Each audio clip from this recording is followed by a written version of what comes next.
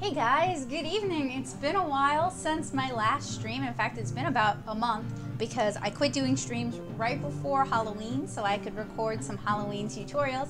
And then I kind of just took a break to kind of recuperate and collect myself. But I think I'm back. Um, I've got some really fun holiday inspired streams planned for you guys. And fingers crossed, I've got a stream planned for Monday afternoon that's going to be very different from what I normally do. So I'm looking forward to it. I hope you guys have had a wonderful week. If you celebrate Thanksgiving, I hope you guys had a, sorry, I hope you guys had a um, safe and healthy and happy Thanksgiving, and I hope you guys continue to be safe and happy and healthy. So today we're gonna paint some northern lights in watercolors and I have my reference image pulled up so let me let me switch over to that view so I can show you guys what I'm working with.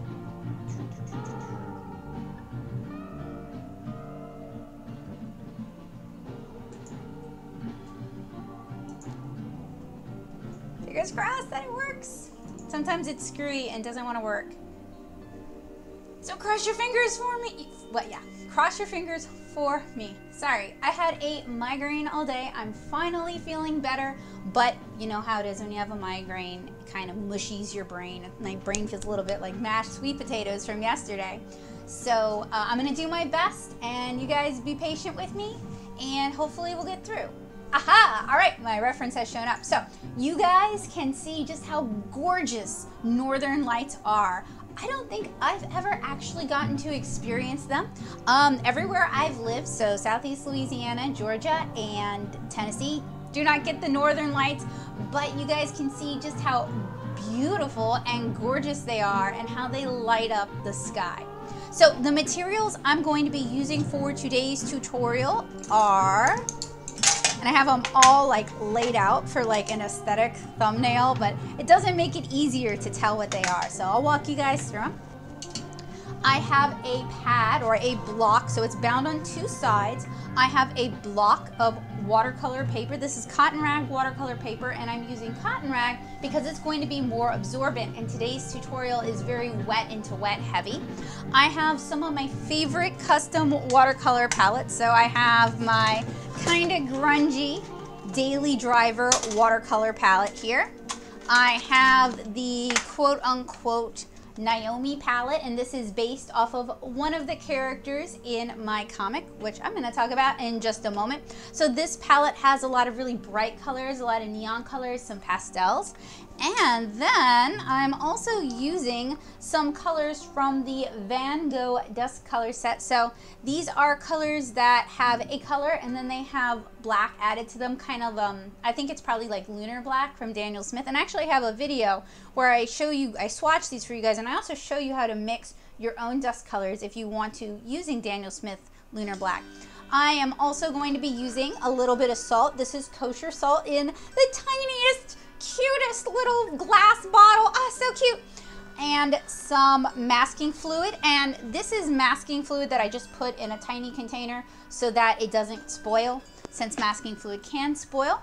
Um, I've also got some brush soap and I'll explain more about that in a minute. I've got a pencil in case we decide to sketch in some mountains or a skyline. A handful of really nice soft brushes. So I have a mop and that's gonna be good for covering large areas. I've got some rounds, I've got a quill. I have some paper towels and I also have some more under the table as well as a butcher's tray that I'm going to use for my color mixing. Now you can also use just a ceramic plate or a plastic plate or even just like a large sheet of plastic. It doesn't have to be this.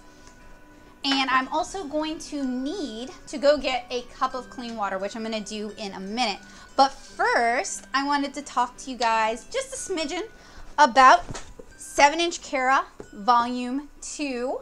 So you guys might remember earlier this summer, we kickstarted Volume 2. We raised a little bit over $8,000 to get Volume 2 printed with an offset printer. We are working with Versa to print Volume 2 and we're actually waiting to hear back from them. There, they the ball's in their court now. I've done a couple live streams here on the channel where we unboxed the first proof that we received from them and I unboxed the second proof that I received from them. I was really happy with the second proof, so I'm really looking forward to seeing how they handle volume two. But if you missed the volume two Kickstarter and you'd still like to order a book copy of 7 Inch Kara Volume 2, you can order it from my online shop. Joseph will pop a link down in the chat for you guys, and then once this video, or video, once this live stream is finished, I will pop a link in the description as well. I'm gonna fill the Kickstarter orders first, since they ordered first, and then I'm gonna fill all the pre-orders, but don't worry, there's to be plenty of books to go around. So if you are new to 7 Inch Kara, it is a watercolor comic. You can read it, the first seven chapters for free at 7inchkara.com and Joseph will pop a link in the description as well. And that'll give you a feel for whether or not this is the comic for you. But if you like watercolor, if you like soft, sensitive stories, and if you like tales about tiny people, I think you're really gonna like 7 Inch Kara.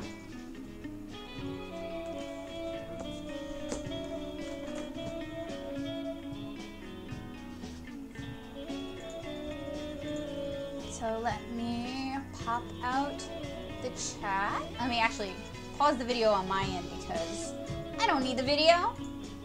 Pop out the chat. Minimize the chat. Move over the chat. Budget over. Boom, boom, boom, boom. All right. So we have most of the supplies we need. I need to go get a cup of clean water and then we can get to painting. So this is a really easy tutorial. It's mostly gonna be about wet into wet. And the most important ingredient, the most important supply you're gonna need today is patience because we're doing a lot of really wet watercolor work on paper.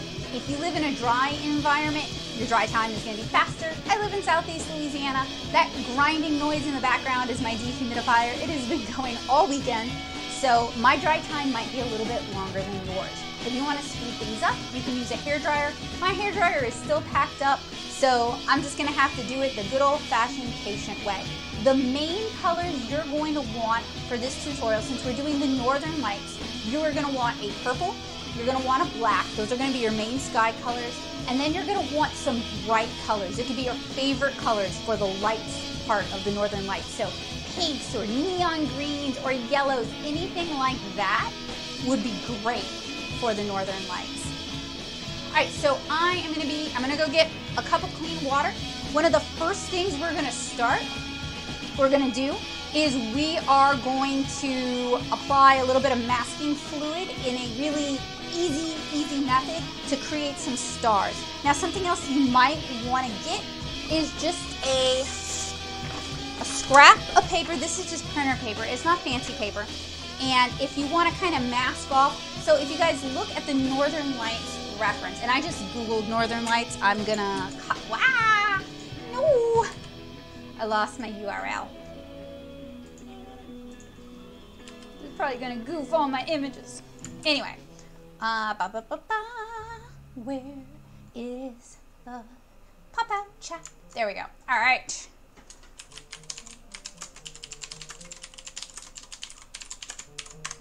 So, oh, it won't let me put it in because it is too long. Okay, all right, never mind. Anyway, so I'm not working from one specific image of the Northern Lights. I'm kind of gonna use a bunch of them for inspiration and just see where this evening takes me. But if you guys look at the teeny tiny reference image that I have on the screen, you'll notice that where the lights are, where it's really bright, you can't see the stars. So one of the first things I'm gonna do is to carefully tear kind of a river shape like this. I'm gonna open my pad of watercolor paper up as well. And this is a 9 by 12 pad. You can work larger, you can work smaller, uh, whatever you're comfortable with. And what's interesting about this is that it is glued. It is bound on two sides. Now, Ideally, you'd want to work on a block where all four sides are glued down, but if you don't have that, that's fine. Um, you can also use clips to hold your paper steady or you can tape it down using, where is it? I can't find it. Ah ha ha, there we go. All right, you can also tape it down using blue ta painter's tape to your painting surface. Whatever you've got, we can make it work. Hey Jill, good evening. So, uh, ba -ba -ba. Another thing I'm going to use, you don't actually have to use it for this because we're just going to be flicking masking fluid onto our surface, is you may want to use some low tack tape like washi tape or like the blue painter's tape, whatever you have.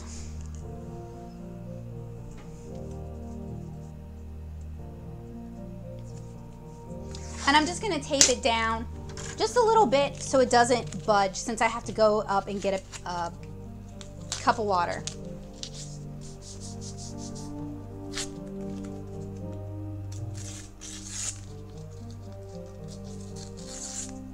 And I'm tearing it just so that I can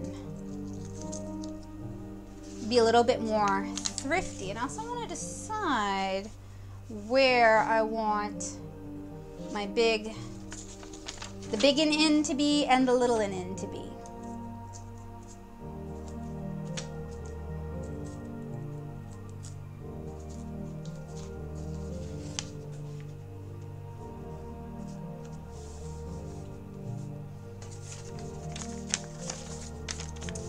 And you don't have to do this if you don't want to. But I am just kind of creating a little bit more mask, like insurance. So there is a difference, and there's even a difference between different types of blue painter's tape. So you get the ones that have like the foam surface, and I find I, I don't like working with those. I find they tear my paper. I get uh, specifically 3M's blue crepe painter's tape, so it's the one that has this like crepe paper kind of finish. And it's a little bit thinner than regular masking tape, and I find it's a little bit less tacky than regular masking tape. And then uh, you guys see I apply it to my skin anyway, and I do that because the dead skin cells from your skin will remove some of the adhesiveness from the tape so it doesn't, it's less likely to tear your paper. I mean, I would do that with any like if I was using washi tape, I would do that with any tape I'm using, so.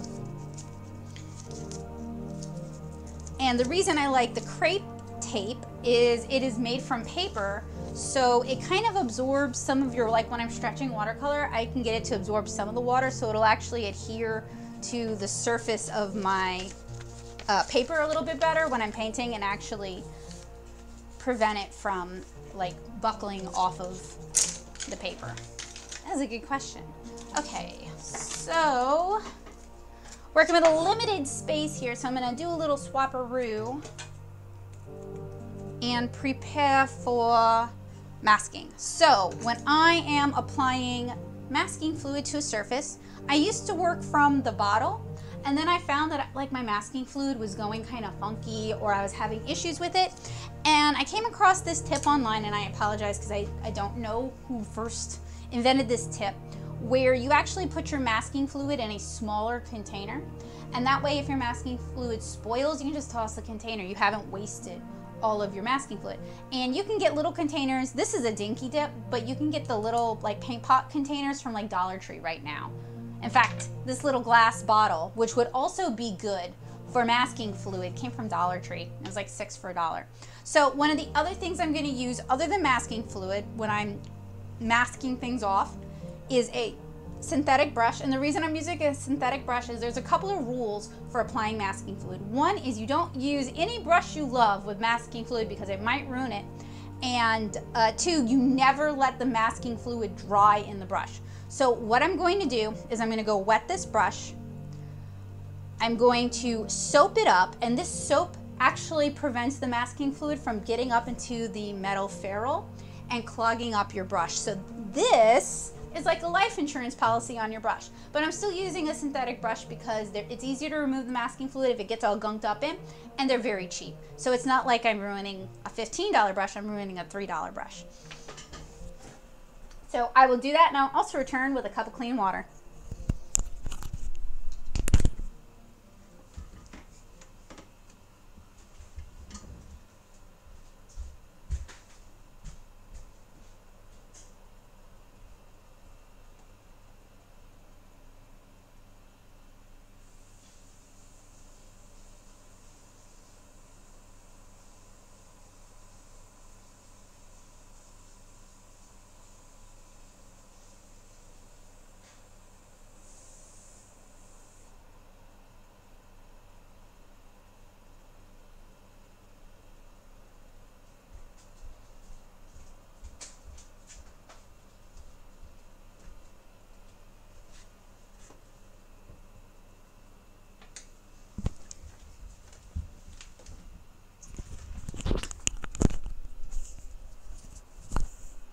Yeah, if you check the the dollar bins at uh, Dollar Tree, you uh, not Dollar Tree. I am so sorry. The Dollar Tree. The dollar bins at Michael's. Sorry, you can often find them for a really good deal.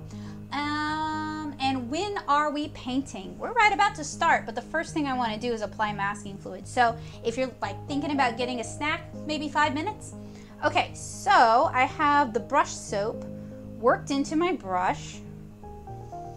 I have my masking fluid in a small pot.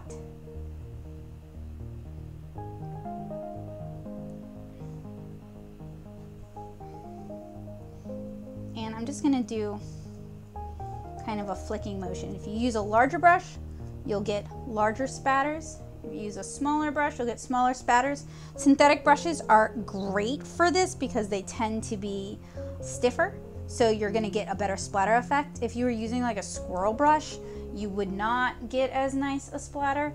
You can also do this if you wanna get bigger splatters. And since we're doing stars right now, you wanna get splatters of all sizes. You might even wanna paint like the moon up there, you know, if you want to, if you're feeling spicy.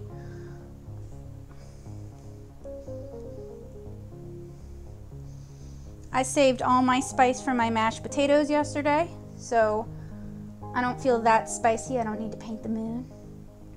And I recommend if you are working with masking fluid, you make sure it says removable because they do make permanent masking fluid. I don't know why. And uh, that will make you sad. Okay, so I need to allow my masking fluid to dry onto the surface fully and I need to wash it out of my brush fully before it dries and also off my finger because I am mildly allergic to latex. So I will be right back.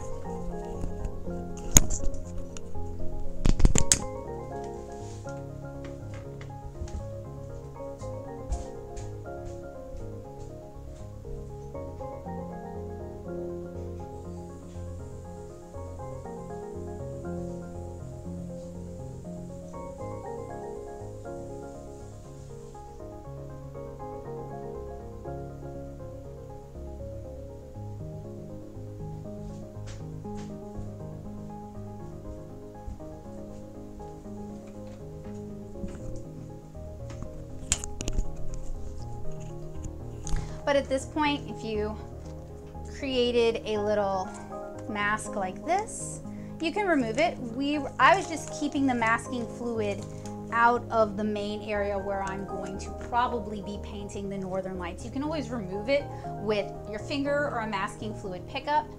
And this would be a masking fluid pickup. You can now get them at Dollar Tree. The Dollar Tree ones look like this. They're fine, they do the job. These things last forever. Fact, I've had this masking fluid pick up since uh, I started using masking fluid, so maybe 10 years. They just get ugly, they don't stop working.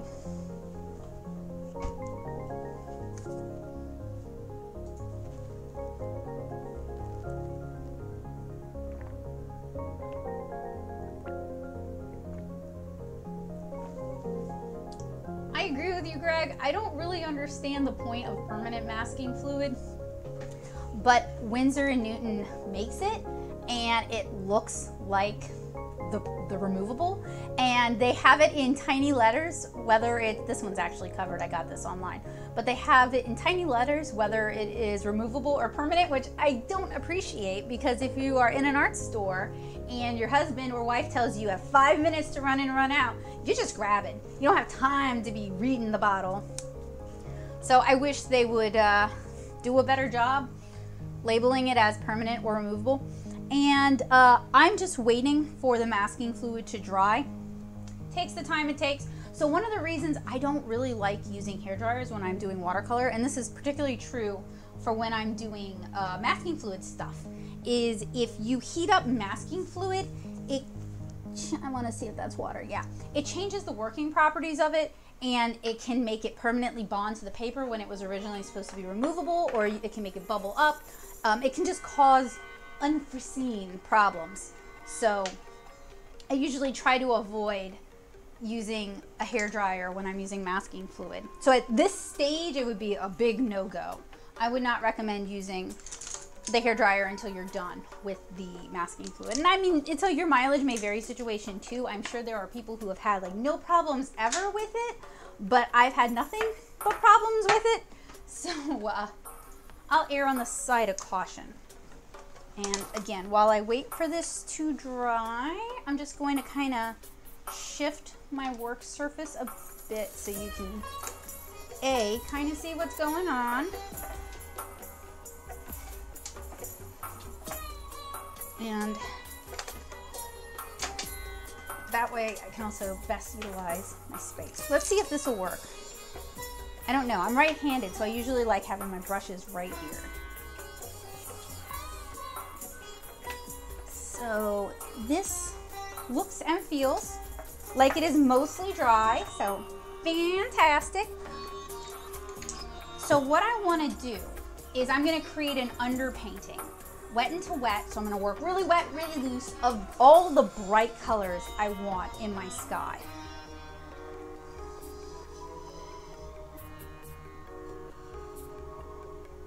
So I'm looking at my reference and I'm noticing that this is an invitation to use me some neons.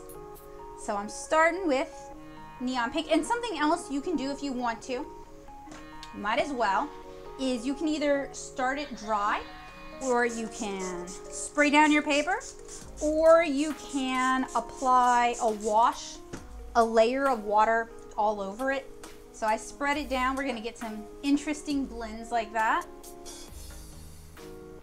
And what I'm gonna do is I'm actually gonna cover the whole paper with this. So this is pretty similar to a Starry Sky tutorial I did a while back in my Watercolor Basics series. I think it's, no, Watercolor 101, sorry.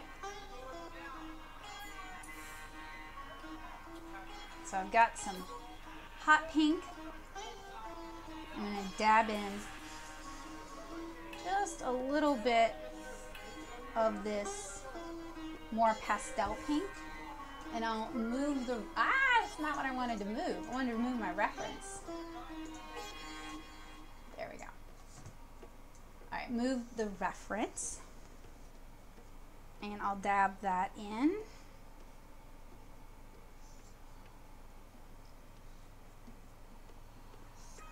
And one of the reasons I'm working on a nicer cotton rag paper for this rather than a cellulose paper is that cotton rag paper stays wet, it stays open, it stays workable longer.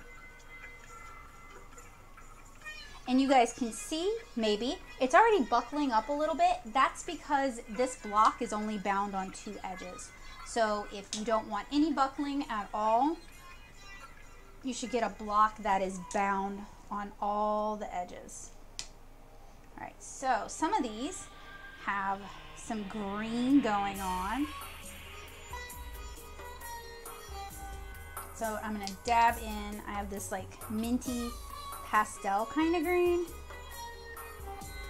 So I'm gonna dab that in. And then I've got a darker green over here grab some of this.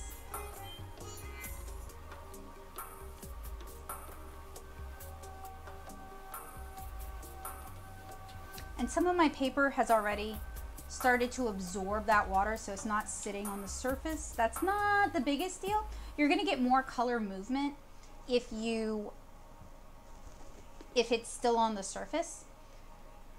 But you can work either way, whatever you're more comfortable with. So I'm grabbing a magenta e color and a kind of a reddish color. Spread this in down at the bottom and a little at the top. Now, if you ever have any colors you don't really want, you can use a paper towel. I'm actually fine with this, but I'll demonstrate for you guys. You can use a paper towel. And either just dip it in where it's kind of pooled or you can, while it's still wet, just kind of lift it off like that. So I'll take advantage of that and put in a darker, hotter pink. Why not? Now, one of the downsides of this pad is you see how wet we're working? It's starting to buckle, it's starting to kip. So what I could have done is I could have used some clips to clip it on the side, but I actually wanted this thing to go from edge to edge. So that's not gonna work today. But if you work on a block that's bound on all sides, you're not gonna have that problem. Okay, then I wanna work in some blue.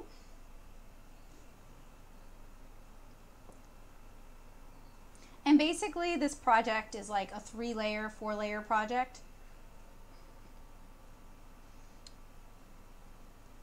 Because what you really want is you really want these colors and these blends to shine.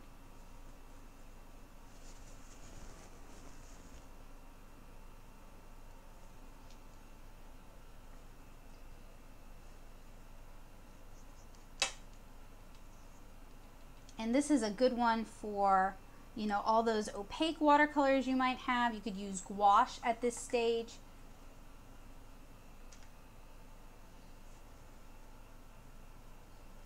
And I might be a little too color crazy. You can choose to limit what colors you use for this. This is really all up to you. Now, if you decide that's enough color, what you can do is you can either go in with black or I'm going to go in with purple. I'm going to clean my brush frequently. And this is where the patience is really going to come in because we just put so much water on the paper. And if you live in a wet place, if you live in a swamp, live in a sauna, if you live in the ocean, it's going to take a while to dry. You can also choose, depending on how the mood takes you and what the reference says, and how closely you want to follow the reference, because it's up to you. You may decide you want to dab some of that purple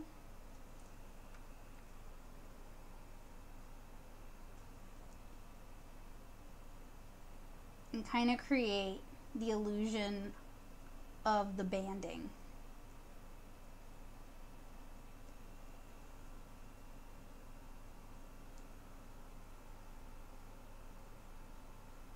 So on my paper, it is not as absorbent as some and it is definitely kipping up. I have a lot of excess water that this paper can't really handle. So what I'm going to do is I'm going to create a thirsty brush and I'll explain that and I'm going to use that to absorb the extra water. Okay, so a thirsty brush, we wet our brush, we clean our brush, now we dab it off into the paper towel. And what that does is it makes the brush more absorbent. There are blogs that explain the science behind that better than I can. But basically it's like a sponge. If you want a sponge to be more absorbent, you wet it first and then you wring it out rather than putting a dry sponge into a mess. I guess it like preps the fibers or something. And I'm trying to be careful not to overly disturb the really nice blends we have here.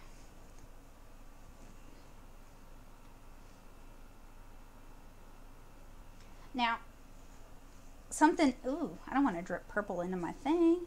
Something else fun you can choose to do is you can choose to use our salt while it's still wet. You don't want to drip it into puddles because it basically won't work. But you want the surface to still be wet. And a salt shaker works better for this. You can drip salt crystals in. And what this is going to do is it's going to create kind of like a, a snowflake effect. So this is really nice for like giving the impression of like a snowy night. And I'm trying to avoid the really wet areas because it's not going to do much good. And now the patience comes into play because we have to wait for this to dry fully.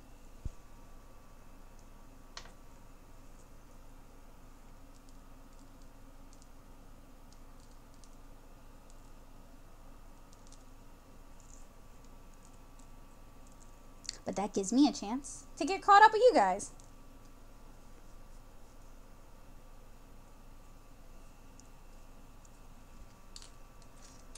And it also gives you a chance to clean out your water cup.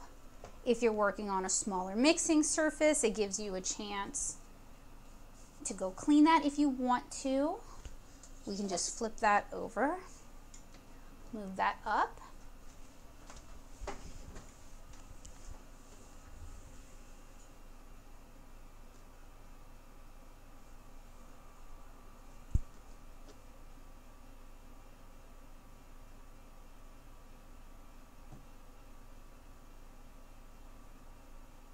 So Greg said, I have a friend who gets nice watercolor paper that's bound on all four edges, but still removes individual sheets, pre-shrinks them, stretches, and tapes them. I have never actually pre-shrunk my watercolor paper. That's a new one to me. Uh, I'm kind of interested in that. Uh, I will also buy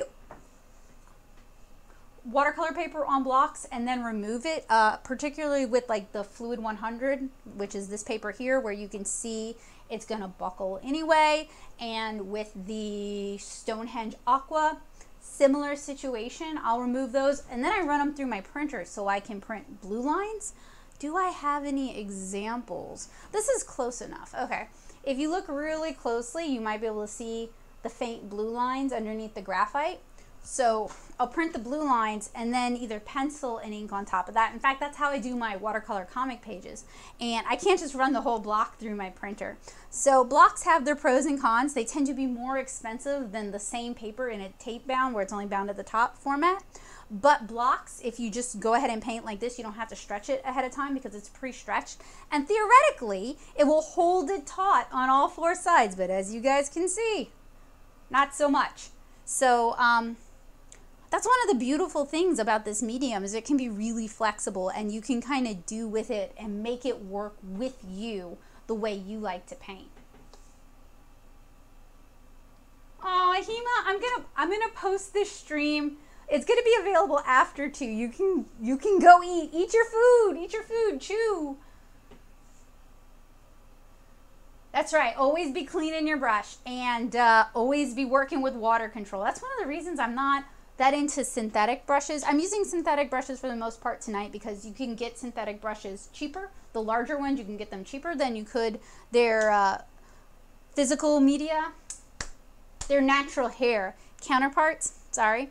Um, but I find that water control with synthetic brushes is basically nil. They just drip drop all over the place. The exception for the most part is the silver black velvet brushes. These are synthetic mixed with squirrel and they are some of the best synthetic mixes I've ever used.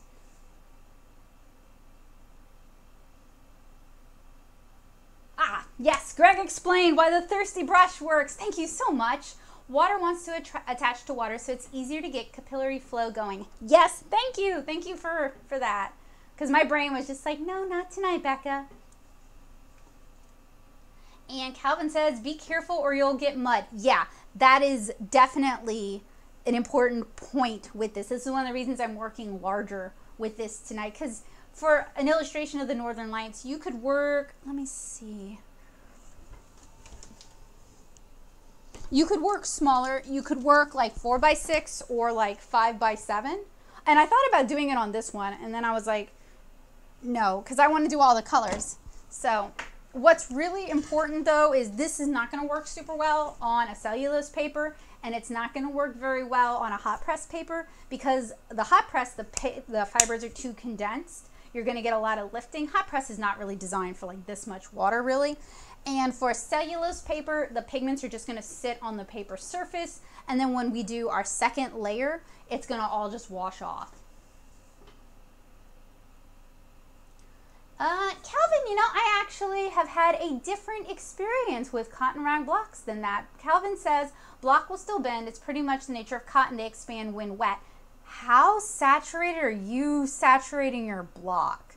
So um, on pads like this where they're on two ends, yeah, I do get the bending. And this is actually significant. Like this is like an inch of expansion. Whereas with that Baohong block I just showed you, this one here, I would get, I, I mean, I just finished up the field test on this last night.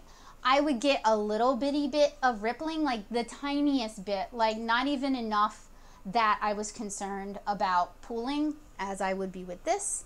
Um, and it dried flat immediately. So on smaller blocks where you have less surface area, so less room for buckling, you're going to have less problems with buckling. It also does a jo better job of holding the paper taut. And then it also kind of depends on what kind of glue or binding they use on the edges. Oh, give me a sec. I'm sorry. Making the, the old lady noises. I'm looking for my Cezanne block, which maybe I can't find it. Oh, gotta dig, gotta dig. Now, let's go with Saunders. Okay. So this block here, I gotta be gentle with it. All right, so it has this black binding on the sides.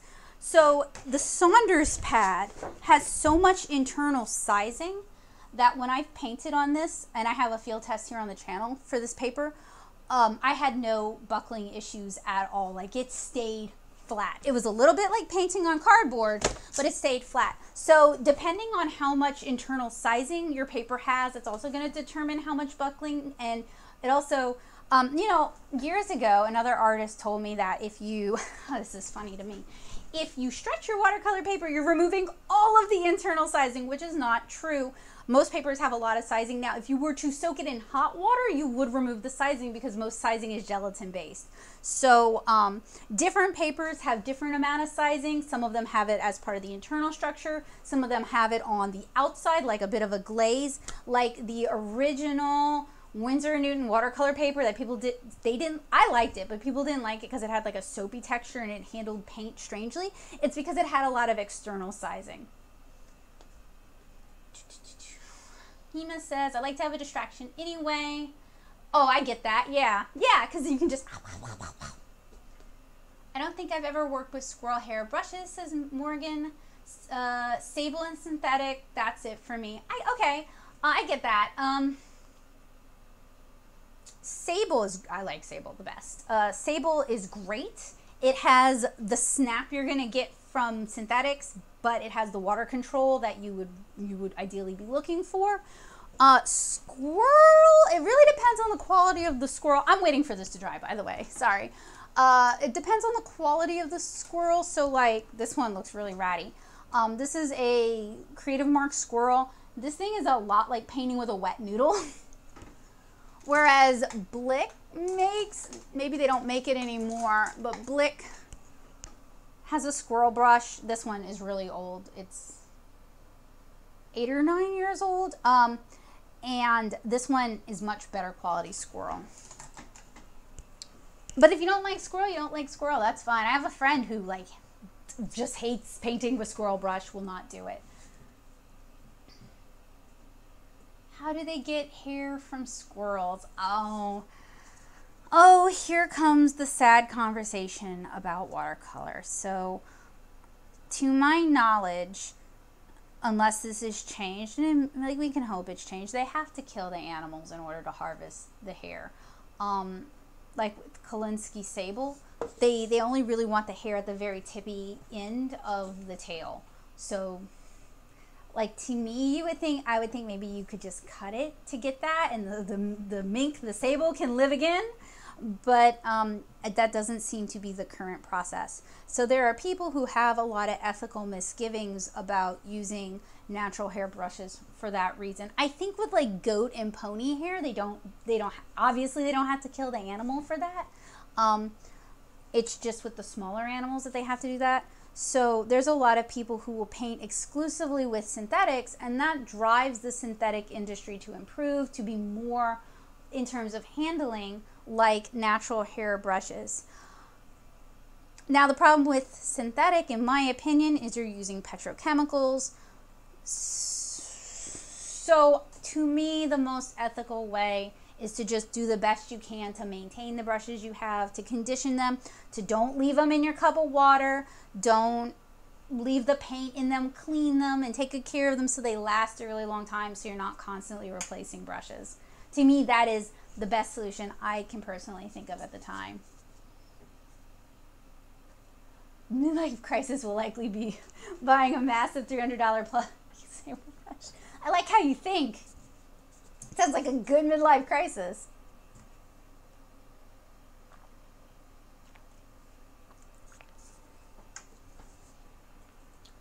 Calvin says, I paint with a giant squirrel mop brush, so a lot of water. I, yeah, I can, yeah, I can see that. And that's probably a lot of water every pass as well.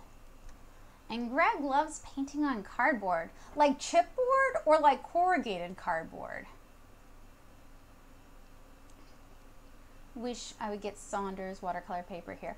The only place I've seen Saunders in the US, to be fair, I live in somewhat rural Louisiana. So, this is not a statement about the whole US, but even when I lived in Tennessee, the only place I ever found Saunders in person, not online, was um, a small local art supply store here in Louisiana. So, it's not super common either, which is a shame.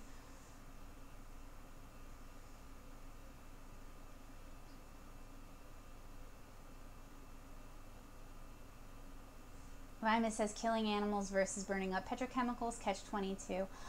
Honestly, that's how I feel about it. Like, I'm not in favor of culling animals for, um, for their fur, but I also eat meat. I'm, I'm sorry if that's triggering for anybody. Uh, but we also try to be ethical in the, the meat we consume for the most part, Joseph and I. And we, we're not big like red meat eaters either. Um, it's a lot of a lot of chicken and a lot of fish. So um, I don't know. I'm sorry. I'm here to talk about watercolor. Oh, cereal board, yeah. Oh man, I bet cereal boxes would be fun with Poscas because they've got kind of that smooth finish on the back, and that and they're sturdy. So it seems like Poscas would not chew them up. Joseph, you're the worst. And Kelly says, I only have two paintbrushes. Well, got to make them do double duty. You got to make them work for you then. Hema says, I haven't done much watercolor seriously, so I just make do with the big cheap packs of Artist Loft brushes.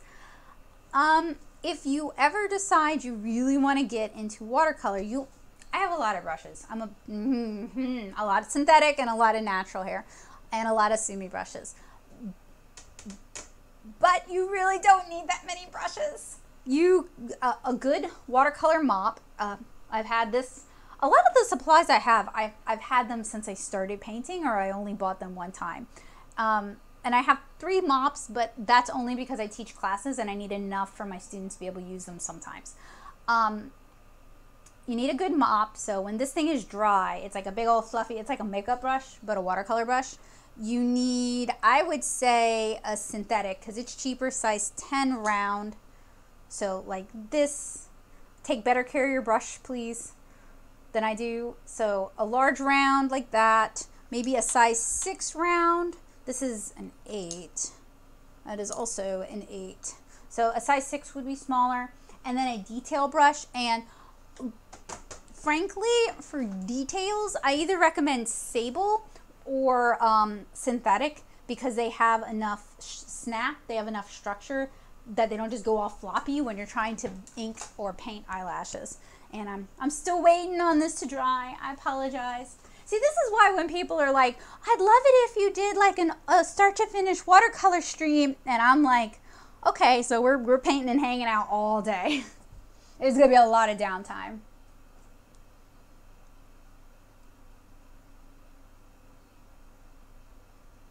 Morgan says, yeah, to be honest, the most ethical path with brushes is to maintain what you got. Yep. My guess is brushes get their fibers as a byproduct of the fur industry. I hope, this is going to sound awful. I hope so, because at least then they would not be killing animals for such a small portion of their fur. I know that sounds terrible. The meat can feed the poor starving artist. I mean, I, I would eat squirrel. Kelly says, and you know that people have excuses not to do their comic. Hmm. I feel, I feel like I missed a beat there. I mean, yes, to be real, people, even I have excuses not to work on my comic. I've been taking a break from Kara while we do Kickstarter stuff, and I'd like to work on some um, some pitch comics that I can pitch to publishers because uh, while self-publishing is fun, it is very difficult, and if I can offload some of that to someone else, I would love to do that. Oh, let's see. Think of it this way: animals, renewable resource, petroleum isn't. So killing animals is better for the environment. Yeah, yeah, yeah. Ooh, ooh. I feel like I'm gonna get eaten alive in the comments today, but, mm, but yeah. Um, so in undergrad, I was an environmental science minor. I spent a lot, which is like um, wildlife and fisheries. So, and my focus was invasive animals. So um, I would wear a nutria coat if anyone was willing to make it because they are highly invasive. They've chased out all the native beavers. They dig holes in the levee, and they their existence kills a lot of native animals. And utilizing an animal that is an invasive is a good way to bring down its population while not just killing it to waste it. Yeah, the problem with watercolor painting, most of them is waiting for them to dry. yep. Yeah, I would love, like, I love watercolor and I would love to do more watercolor streams, but it is so much waiting for them to dry.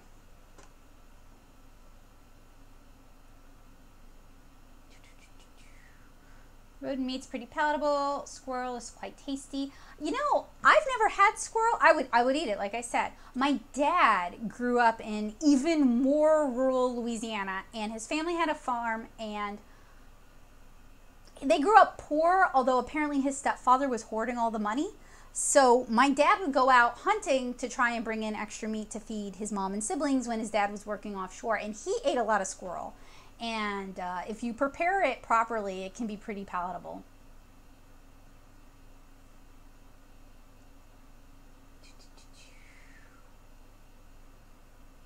People have eaten more weird things than I have. I'm jealous. Ah, part of the club. Nutrias are a plague. Nutrias and hogs. Yup, I would eat. I mean, I've heard nutria does not taste that good, which is why, like, um, Sometimes here in Louisiana, wildlife and fisheries will do bounties and they'll give the meat. So you, you shoot these animals, you bring them in, and then they will give the meat away to like soup kitchens and stuff. And I've heard, but I don't know how true this is, that Nutria is one of the ones that they do a bounty on, but they don't do anything with the meat because it's just not palatable. I had crocodile once. Cro- really, crocodile? I've eaten alligator. We got alligator in the fridge right now. Squirrels are the destructive invaders. Well, the American greys are. They're they're destructive here too, although I can't say they're invaders. Hema, I'm there with you. Goat meat is delicious too.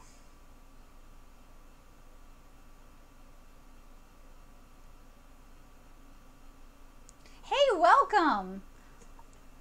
I we are waiting on paint to dry. Literally watching paint dry. Um, maybe I will. I could turn on the fan. That'll help with air circulation. I've been thinking about. We have a a, a house size dehumidifier. I don't mean like it's literally as big as a house, but it's meant to dehumidify your entire house, kind of in our bathroom. Not kind of. It is literally in our bathroom.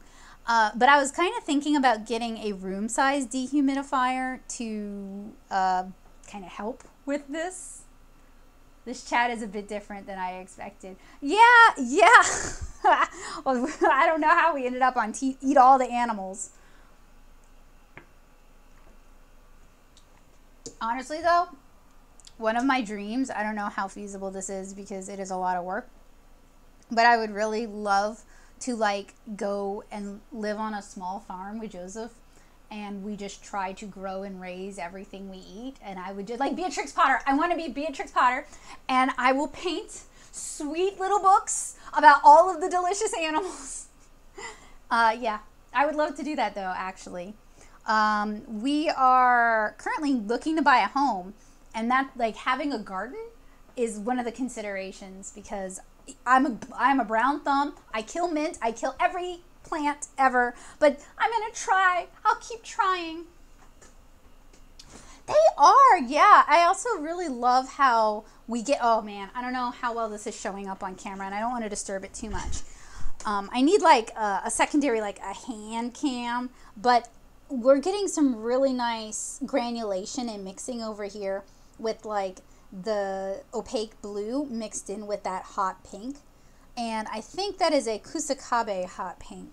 And it does some really neat granulation stuff.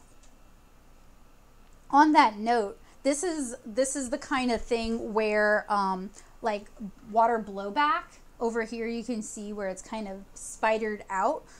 If utilized well, you can get some really gorgeous results. So it's just a fun one. Um, I usually do these really like tight rendered watercolor comics, so getting to play around with wet into wet and kind of loosen up is a lot of fun for me. So what I'm gonna go do is I'm gonna turn on the fan, hopefully get some air circulation going. Um, maybe try to move the dehumidifier so we it can maybe suck some more moisture out of the air. And I'm gonna go get a cup of clean water because that is that's dirty and we need clean water.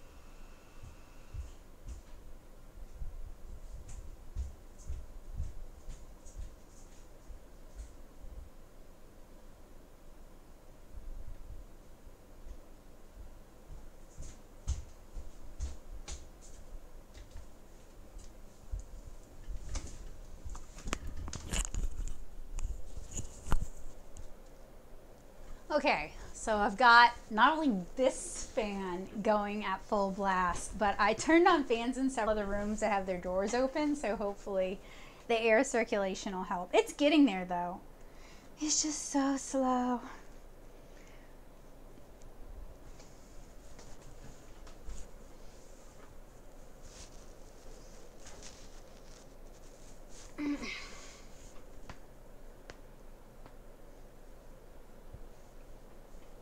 All those crunchings.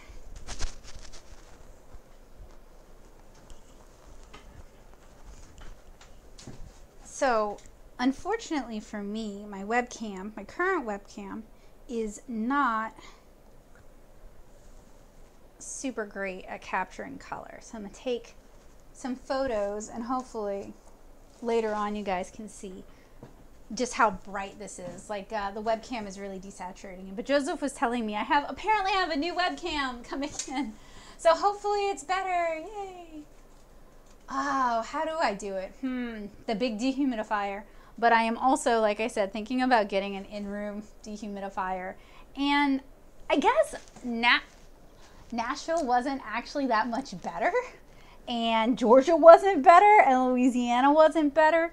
So, so it's not great, but it's not so bad.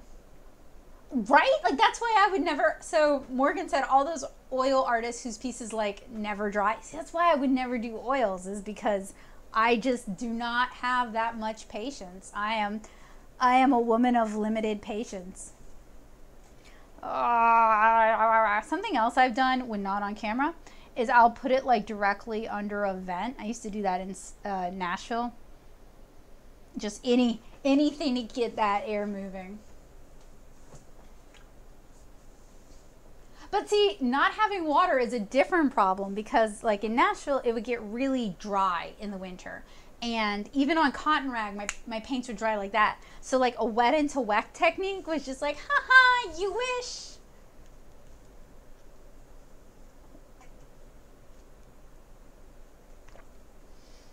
I don't know that quick drying oils would uh, work in Louisiana.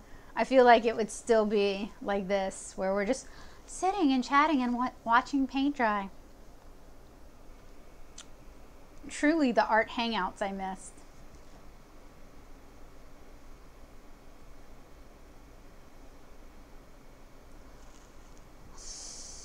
Hmm.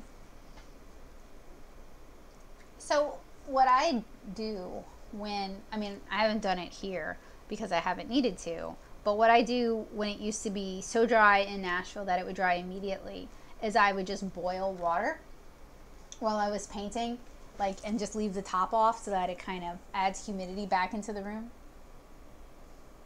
I could see that, yeah. That explains why I was, I'm over here like, it's so humid here. I don't even need the extra humidity. I mean, I don't even need to add extra water. There's so much humidity in the air.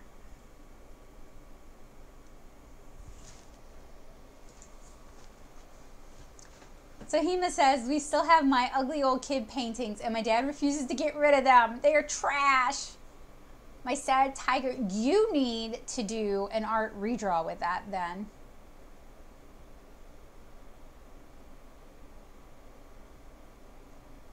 And Morgan says, yeah, back when I did watercolor, making one mistake was a dramatic ordeal for me.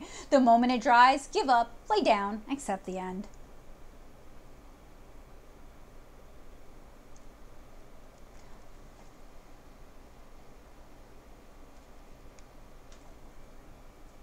I'm glad I started at six. This is such a simple technique, yet it takes three hours because it's so wet. So much water.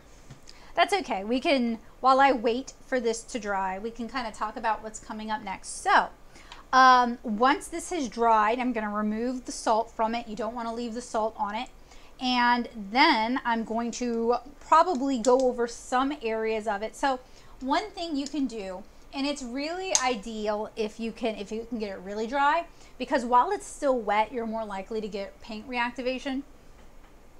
But you have a few options. You can go back over your northern lights and accent it with some of the colors and let that dry and then move on to our next step. Or you can do what I'm going to do. And in my next step I'm going to use some of these Van Gogh dusk colors, mostly because I want to use some of the Van Gogh dusk colors, and I haven't, I, I feel, no, I unboxed and swatched them, I talked about them, and then I was like, oh, I don't know what to do with them, other than monochrome paintings, I've been doing a lot of that, so um, I'm probably going to do a layer with probably the purple, frankly, and then I will probably go in with and I'm sorry, it is so filthy. I am I, I do not have aesthetic palettes. I I have gross, gross palettes. Probably go in with either black, Payne's gray, or a neutral tint for like the really dark parts of the sky.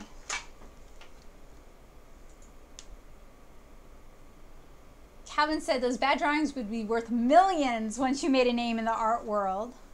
Vina says, tiny palette. It is. It's an Altoids tin palette. Well, there's only there's only four dusk colors to my knowledge, they may have actually put out more. I don't know. But uh, this works out well for just kind of keeping them self-contained.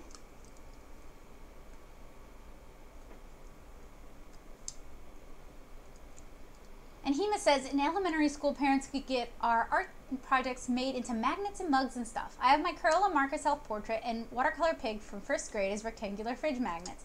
You know, thinking about that, your poor teacher had to scan all that and submit it to like whatever service they were using to print those. the gross palettes are an expression of your ever. They're also an expression of my cat, who is about to become my victim. Give me a second. Hey, Bowie. Come on.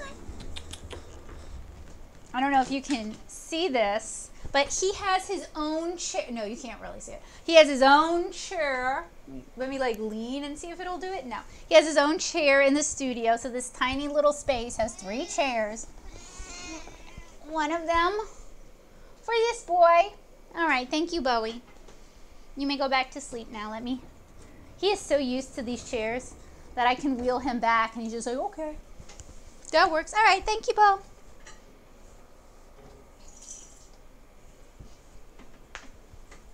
Oh, Kelly says, I am in elementary school and in fourth grade. Oh man, fourth grade was a good year. Focusing on my art instead of the palette being clean. Uh, that or I cannot control my cat hair. Oh, there's still one wet spot. Ah, sorry.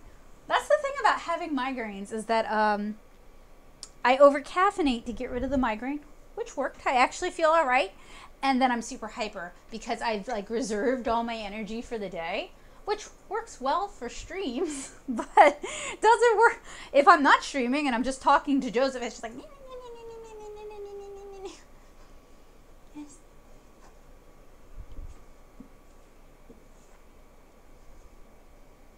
I really should be wearing my glasses. Wish my palettes were that messy. Oh, just get a cat. You'll, it'll get cat hair embedded all over it. That'll happen. I use shape, shapes in my art class. Shapes or Sharpies, sorry, in my art class for drawings. Your palette is clean compared to mine. That's only because I don't like painting on this surface here. I prefer to use like the, you know, because I switch when I'm painting too much. But he needs a task chair for all the tasks he accomplishes throughout the day. He is a busy boy.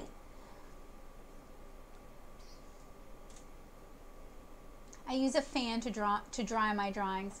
Yeah, we got the. Oh wait, do you mean like a folded fan? That might actually work. Maybe I should do that. You might be a genius. My best year was probably eighth and tenth grade. Hmm. It was. I think my best year was whatever year was the last year at that school. So sixth grade, eighth grade, and senior year were my best K through 12 years.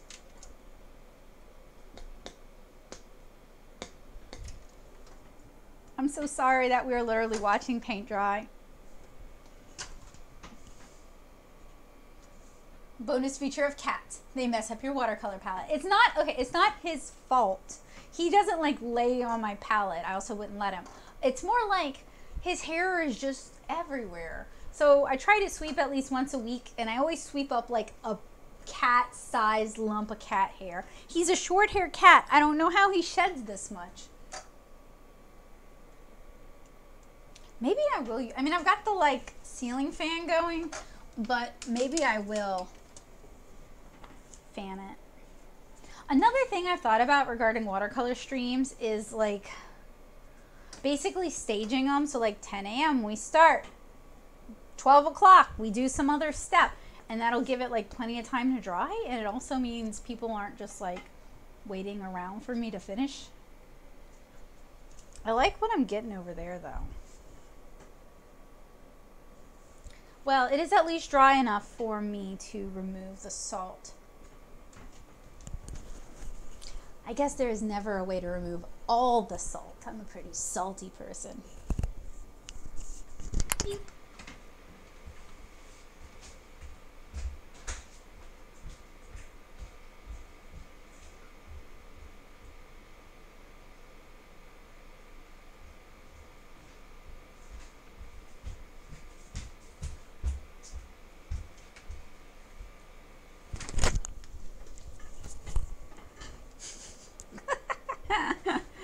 you know, years ago, Joseph convinced me to start doing streams while I was in grad school.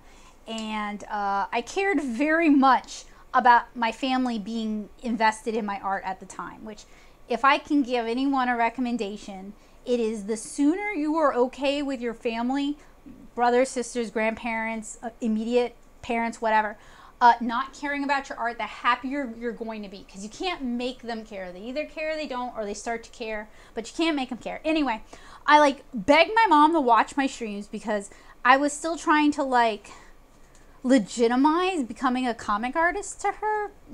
It, she's cool. She's very cool with it now. She actually really likes what I do, but at that time she was having kind of a hard time with it. So I was trying to get her to watch my streams, and uh, they were boring. I'll give her that because they were uh, just mostly SCAD assignments. So it was a lot of like blue line drawing just for hours on end.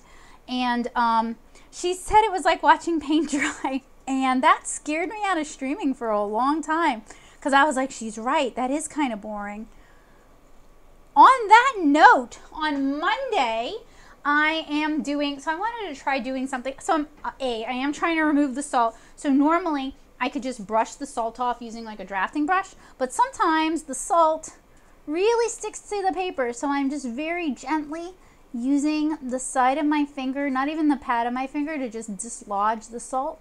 And then I'm going to sweep it all off. But hopefully you guys can see all these like beautiful snowflake effects. That's why I like using kosher salt for this. Now I've tried using Himalayan rock salt. I had it somewhere and I think I moved it over to the kitchen again because it doesn't work. Oh, wait, there it is. It doesn't work nearly as well as maybe if I ground it, but I mean, these are like the big old chunky chunks, right? Um, they're beautiful, but they're the big old chunky chunks. They don't make the beautiful snowflakes the way kosher salt does. And it has to do with the surface area. So the kosher salt is like little flakes of salt, whereas rock salt is like chunks of salt. And the flakes of salt have more surface area, so you get these like really nice, delicate snowflakes, whereas the rock salt, you just, you don't. Not It's not as nice as this. Like you still get the snowflakes, but they're not the nice snowflakes, even if you put the big chunks of salt down.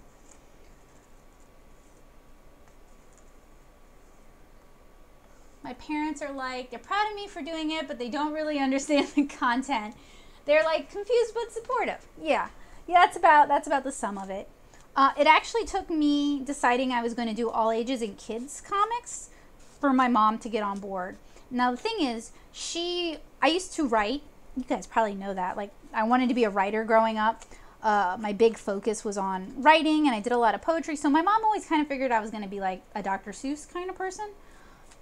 So her disappointment disappointment with me going into comics was just that she thought I wasn't going to be writing anymore. Okay, I got a lot of the salt. So I'm going to head over to the trash can because I don't want this all over my feet and go scrape it off. Anyway, ADHD cycling back. So on Monday, health permitting, I am doing kind of a I'm trying something new. I'm doing um, a kind of a pop-up stream, and I've mentioned this on the community tab before, where uh, I went to Five Below Actually, I can grab that for you guys. After I brush off all the salt.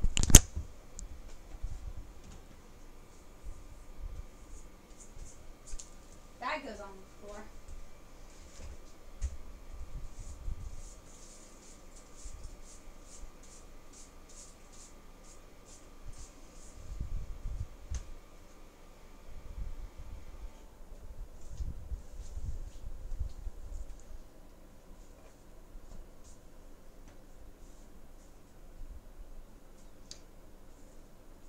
You gotta get be careful to get the salt and not the masking fluid. That's the tricksy part.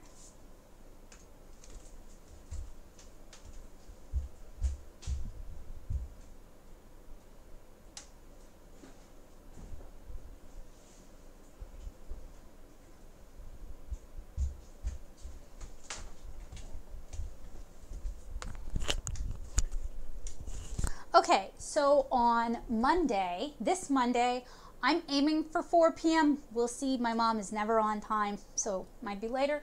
Um, I'm gonna start doing these like more low key, just like hangout streams, not necessarily so art focused, just meant to be kind of like um, I know people are getting having kind of a hard time with uh, not seeing their friends and not being able to hang out, stuff like that. So this is more of like a hangouty kind of stream. And uh, by special guest, the special guest is either going to be Joseph or my mom. And uh, my mom is part of our like social pod. Uh, I'll explain that if you guys don't understand what I mean by that, but give me a second. So she's going to come hang over on Monday and we're going to do a kit together. And I went to Five Below and I picked up some promising kits. So not only is this to kind of, you know, check out the Five Below kits and see if they're any good, but it's also to just kind of like relax and do something different and not like have to come up with the idea, if you guys know what I mean. So it's like a hangout thing.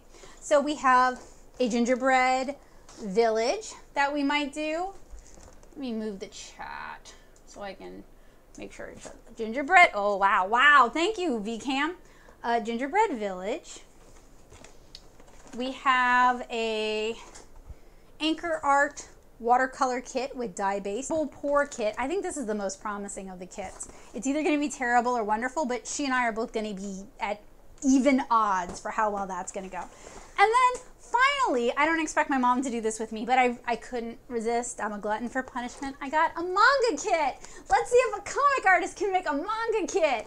So on Monday, we're probably going to do, um,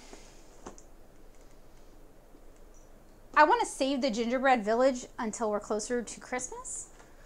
But either the watercolor ink kit or the marble pour kit. And if we have fun doing these kits, then I might try to do the Monday hangout stream as like a regular thing. So we'll see. I'm playing around with it. We'll see. I'm gonna go put those up and then we can move on with our watercolor.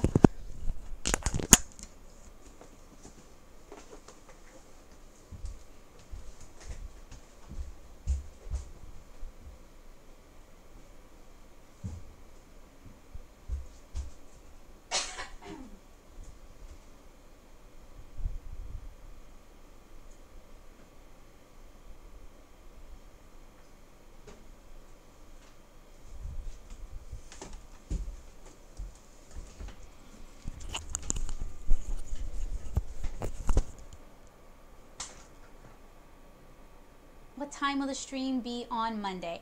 I am aiming for four. We will see if that happens.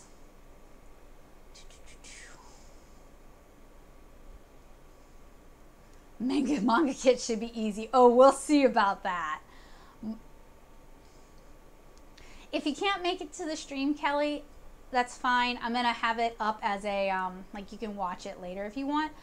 4 p.m. CST, so Central Time, so 5 EST, I think. Okay, so time to move on. Finally, it is finally dry enough. Hooray, huzzah. I did my best to remove all, the, all of the salt, although in my soul there is so much salt, we will probably never remove all of the salt. So, time for layer number two. And I'm gonna pre-activate them. So I'm just gonna dab some, actually, you know what? I'll try the green too. We'll try as many as feasible. So I have dabbed some water. I've activated the green, the pink, and the purple dusk colors. I will also, and this is to be unfortunately kind of off camera for you, activate black, Payne's gray, and a little bit of neutral tint. But if you just have black, you can just use black. You can use purple. You can mix black and blue to make a dark blue, that kind of thing.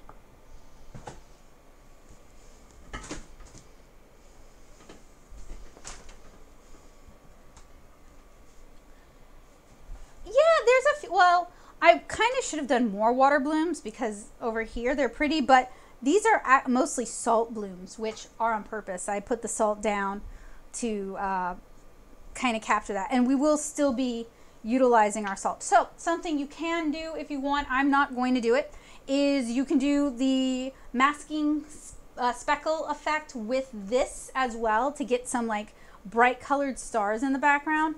I am not going to do that. What I am going to do is I'm going to take my water, clean water, clean brush, and I'm going to apply it. And my goal, so I'm leaving the center stripe unpainted, but my goal in doing this is so that I can get some diffused blends when we blend in our dusk colors. So I'm going to start with our green.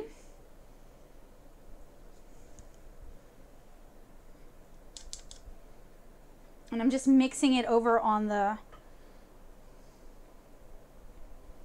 on the butcher's tray just to make sure I actually get it kind of integrated into the brush. So what I'm going to do is I'm using, and you don't have to do this, and if you don't have the dusk colors, you still don't have to do this. Um, I'm going to try and do the, oh boy, they muddy that water fast. Dusk colors that match the areas I'm painting, if that makes some sense. Just to kind of play around with it and do something a little bit unusual. They don't, to my knowledge, they don't make a blue dusk color because that would be really pretty. You could probably use the uh, Boku Undo Sumiask colors if you got them. Those are more opaque.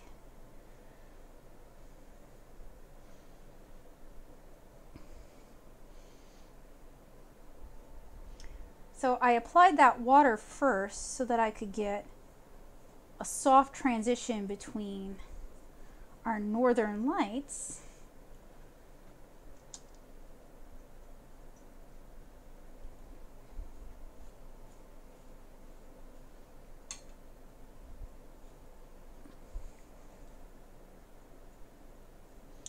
and our background color.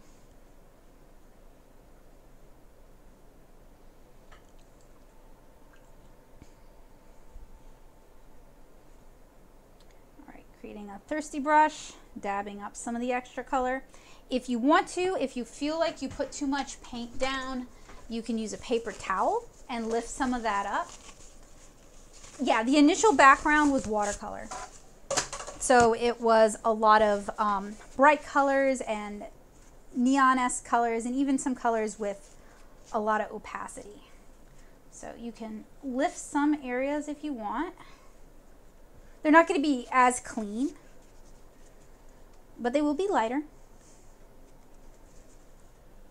And I wish I had another cup of water with me right this minute. You can also soften that transition if you want to. So what I'm going to do is I'm going to switch out the cup of water so I can do some of the dusk colors in the center of our northern lights.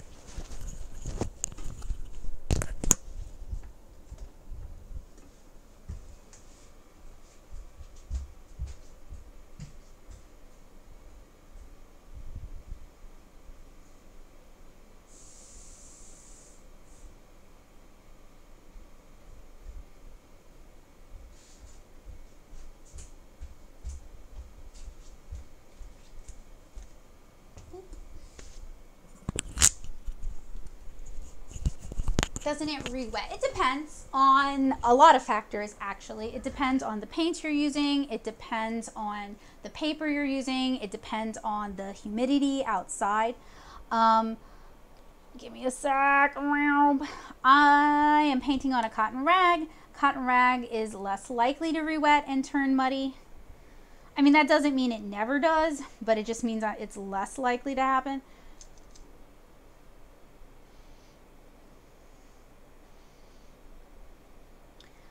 Uh, in general, I'm also painting with uh, professional watercolors, so those are less like once they've dried, which is why it was really important for me to wait till these dried.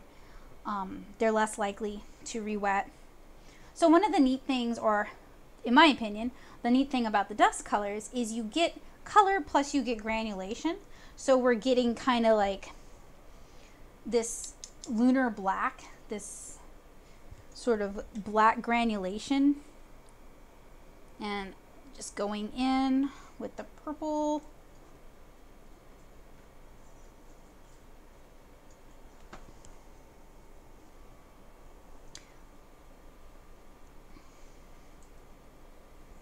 So unfortunately, this is a technique that if you wanted to do this painting with, uh, let's say, less expensive watercolor, student grade or children's grade or hobby grade, you would have to basically really adjust the order of operations for how you applied your color. All right, now I'm going in with the green.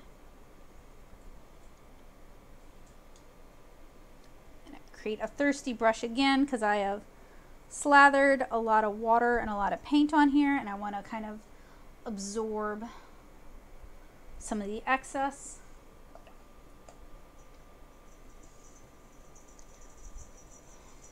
Yeah, I we we waited a while to let it dry.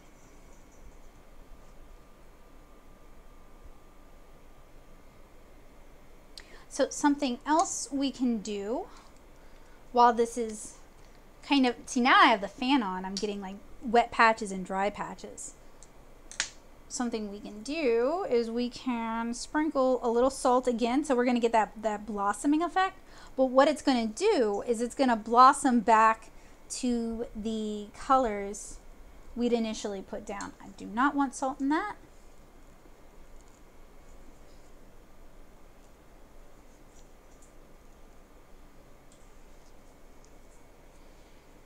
So now you have an option of you can let this fully dry and we can do our last layer once that's fully dry or you can start applying that last layer into it.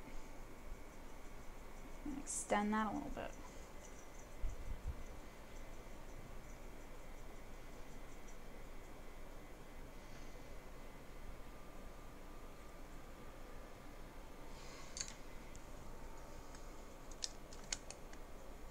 Okay. Painting Aurora, the more neon, the better. Yup.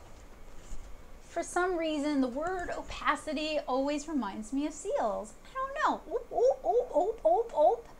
Uh, Vinus asks, yeah, but doesn't it re-wet? Okay, so that is the thing I really want to talk about. So I am painting on a cotton rag paper and cotton rag, your pigments are more likely to kind of seep into the fibers and actually stay there. So they're less likely to re-wet and reactivate. If you're painting on a cellulose or a wood, wood pulp paper, then everything just kind of sits on the surface for the most part and um, that's going to be very likely to re-wet. So that's why I'm doing it on a more expensive paper rather than on a less, a cheaper paper. Um, when you're using professional grade pigments, for the most part, they contain fewer optical brighteners and they contain fewer extenders. Those are things that are added to pigments to make them cheaper as paints. Um, they also make the paint more likely to become muddy, more likely to reactivate uh, if you try to do layers on top of them. So that's one of the reasons I, I really push for as soon as you can afford professional grade paints, if you know you're going to be painting watercolor for a long time and you work with a lot of layers like I do, um, to go for professional grade paints. And that's one of the qualities like when I'm reviewing to see if I apply three layers, just real sloppy one on top of the other, do the colors reactivate, do the colors turn to mud. Um, I also tried my best to allow the paints to dry as much as possible before I did that layer on top of them. Um, it wasn't as so ideally if I was not doing this as a stream I would do that layer and then go to bed for the night or put it away and work on something else and come back to it the next morning to allow the paints to 100% dry out in the paper and then do my next layer but because streams are time sensitive and I can only talk for so long uh, as soon as it was mostly dry, I went ahead and I removed the salt and I did the next layer. Um, cheapo cost, uh, that's, there's my problem, cheapo cost cutting materials, I think. Yeah, yeah, and I mean, I love, I love me some good cheap watercolors. I love me some good cheap art supplies. Like, I won't pretend, and I try to talk about them on the channel because, like, not everybody has buku money, has a lot of money to just throw at a project or throw at a hobby. Uh, the Fluid 100 in the US, I cannot speak to other countries. Some countries have better access and cheaper access to good art supplies than we do in the US. Um, but Fluid 100 is a fairly cheap cotton rag paper in the US, uh, cheaply available, I should say, and that's why it's not bound on two sides. Cheap. um, and uh, professional grade watercolors tend to be expensive here, and then there are companies that will sell their student grade watercolors as professional watercolors in the US. So you have to be careful when you're shopping.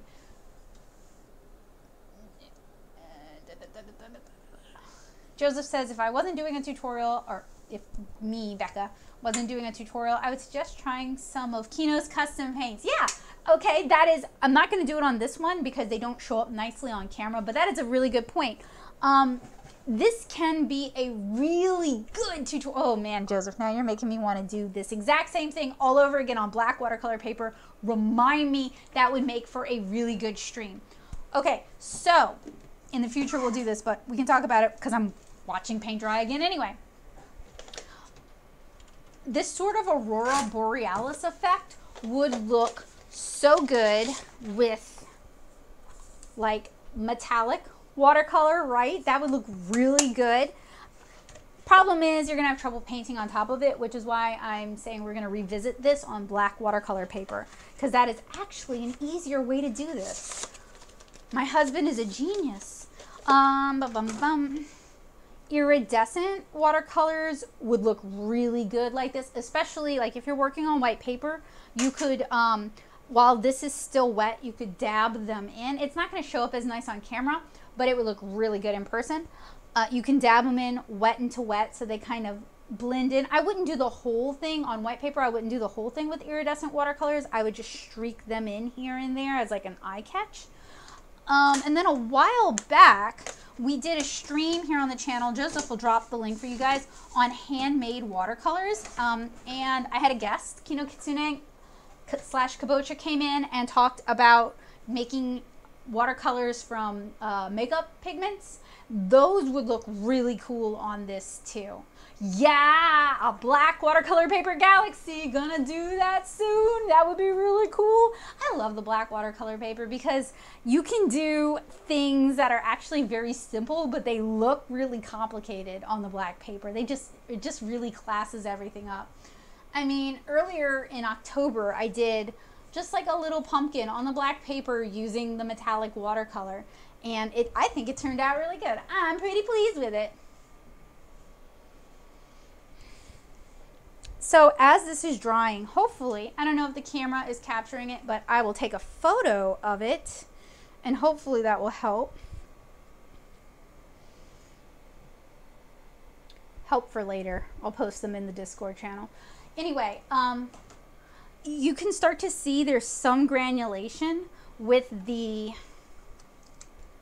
dusk colors. And the way these work is you have a base color a base pigment and then they added PBK is it PBK 7 or PBK 11 it's the pigment used for lunar black which is a granulating black pigment. I'm not painting don't worry. I just see I just see like some pooled water that I can easily up.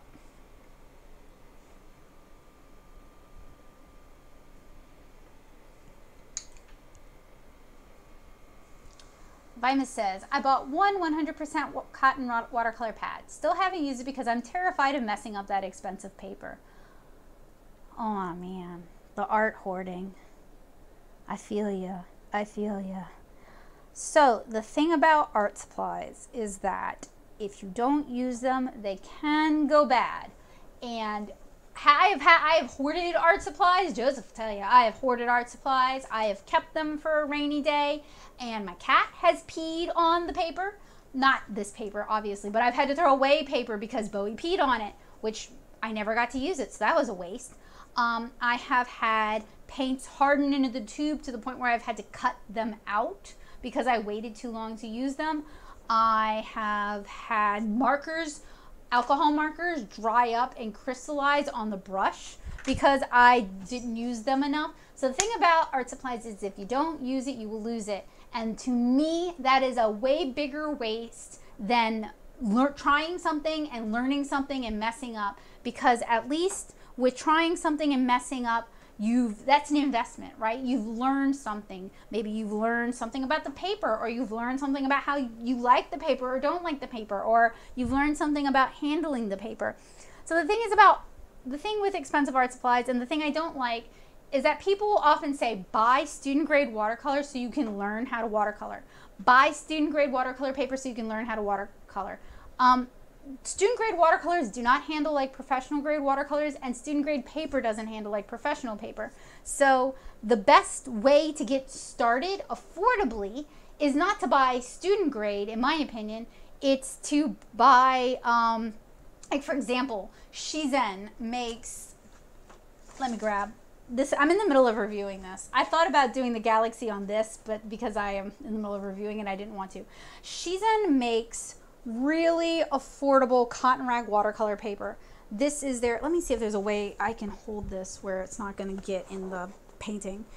Um, so it's cheaper than a lot of other watercolor papers. This is one of their watercolor sketchbooks, but they also sell packs of watercolor. You can buy like the pre-cut 5x7 Shizen cold press and hot press in like a 50 sheet pack for like $20, which is a really good deal when you consider it is 50 sheets of watercolor paper. So you're more likely to actually use it. The cold press Shizen is more like I mean, I'm sorry, the hot press Shizen is more like a regular cold press watercolor. The cold press Shizen is more like a rough press watercolor. It just has a more pronounced texture, but um, to me, Shizen is a great way to start playing around with cotton rag paper that's affordable and behaves like cotton rag paper. Shiny paint makes everything look more classy. I agree with that. It just doesn't look that good on camera is the problem. Uh, I can relate to all of this except maybe the cat pee. Oh yeah, Bowie is Bowie used to be a terror. He's mellowed out a lot in his old age and he's been diagnosed with kitty cat anxiety, so he's on kitty cat Xanax now. But when he was young and I was in grad school and I couldn't spend eight hours a day hanging out with him, he would get into everything and I had to throw away a lot of prints that I'd done, like um, screen prints and lino prints, because he'd ruined them. And I had to throw away a lot of paper for the same reason. Like they were in a room that was closed off, and they were in the closet of that room, and he managed to get into both and then knock them down and pee on them.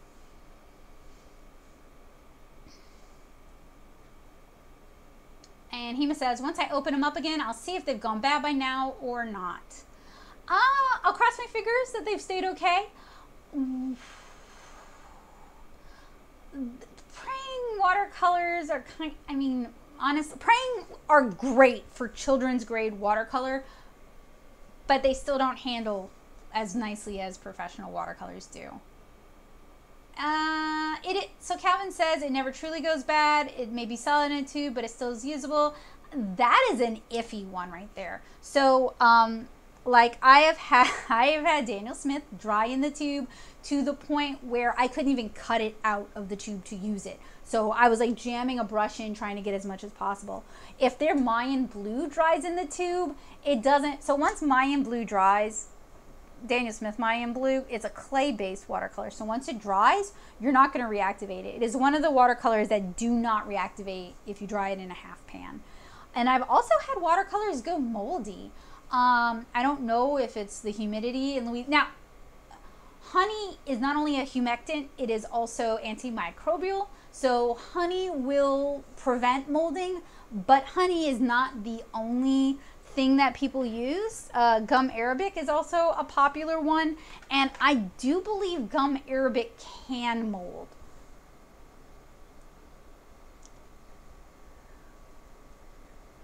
Vima says, My sister once brought home a set of watercolors from Hong Kong that hardened over time and was completely unusable. No idea what was in them. Yeah, that's another thing. So, a lot of Asian watercolors don't use gum arabic or honey. They actually use painting glue as the binder, which is like a gelatin or sometimes an animal hide based glue. So, some depending on the formulation, sometimes if they harden, if they dry completely, there's no there's no resuscitating them unless you want to basically re-mill them and then add in either new binder or new gum arabic. And Hema says, "Yeah, I'm sure they're not the best. They did okay for me since I honestly don't have high standards." I can get that. Like, I don't. I don't want to yuck your yum. I don't want to be like, no, they're terrible because they're a. They're not terrible, and but and b. You. I, you live so far away. I would love to loan you one of like my nice sets to play with, but you live so far away. I don't want to mail them because the mail.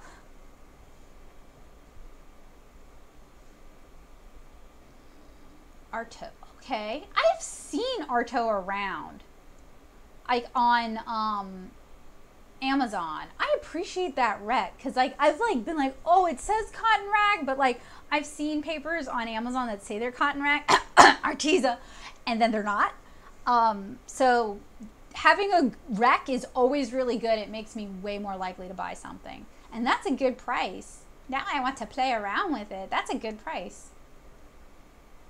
And then also another thing is if you buy larger pieces, you can cut them down into whatever size you want. Um, and that tends to you if you want to go that route, that can be more economical than like buying like a little four by six pad. So it really kind of just boils down to how you like to work. And here we sit, still waiting for paint to dry.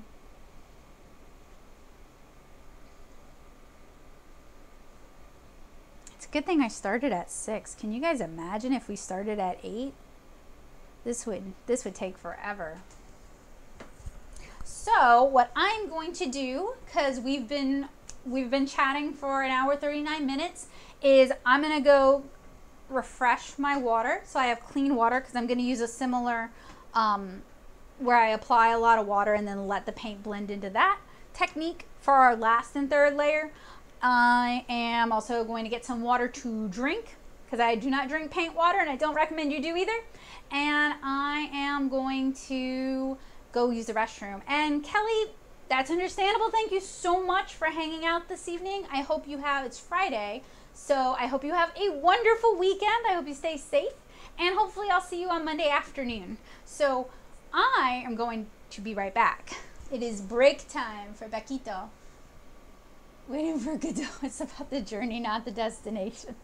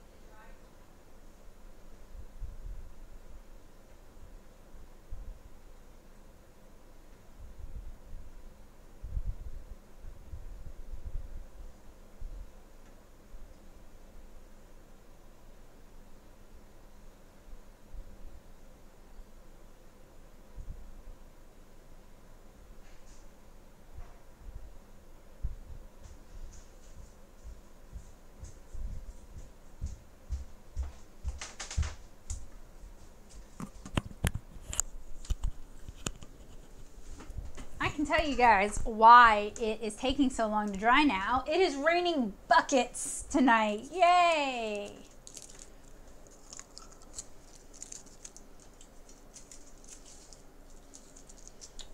am I going to do white paint sprinkly speckles on the end?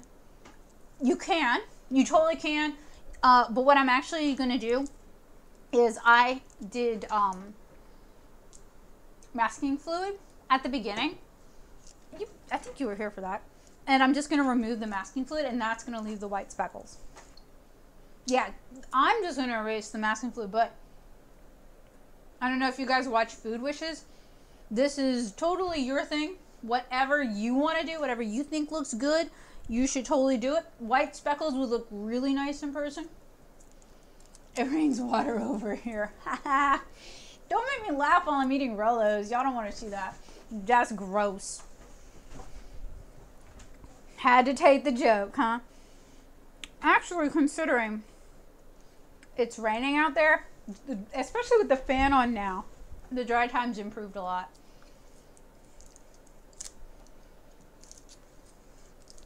I should have brought my water glass in here. Oh my gosh, yeah, can you imagine it legitimately raining buckets? I know it's like rained frogs before, and I love frogs. And that is such a sad, terrifying thought because it's like, oh no, those poor frogs. I would not want to get splattered with a frog. I probably will go get my water glass and come back. And then we can remove the salt from this layer and do our fingers crossed final layer. I'm sorry to hear that. I love the sound of rain at night. I got a weighted blanket, and rain plus weighted blanket is like safest, coziest feeling ever. Anxiety does funny things to you. Yeah, you can use white splatters. There's no reason not to. And I mean, I'll be real. If I don't, if if these white splatters are not um, impressive enough, I'll probably add some white splatters.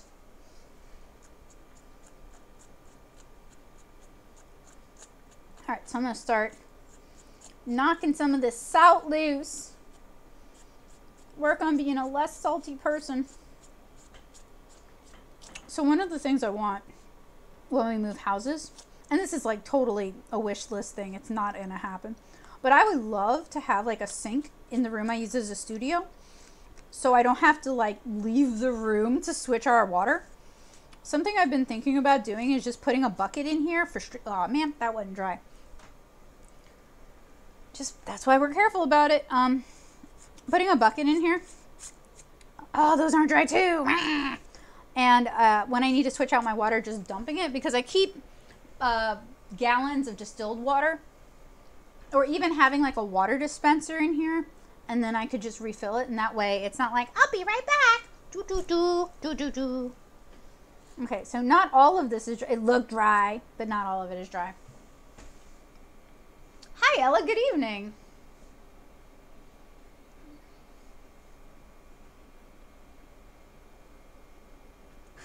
Step in poodles instead of puddles. Ah, ah, ah,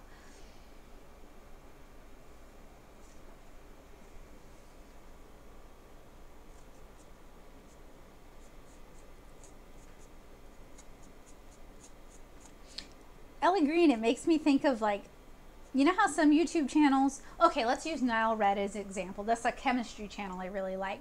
And for Nile Red, when he does like these other projects that are chemistry related but not his main channel, he posts them on Nile Blue. Makes me think of that.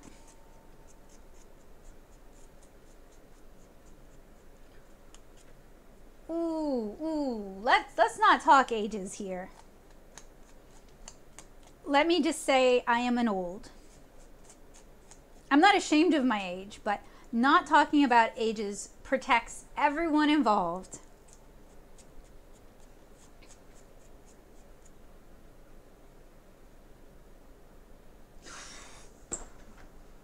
Man, I wish I wish I had a a cookie and what or I could just get a water bucket from Mijello. Like no, I'm talking like a a, a bucket, like a I mean a bucket.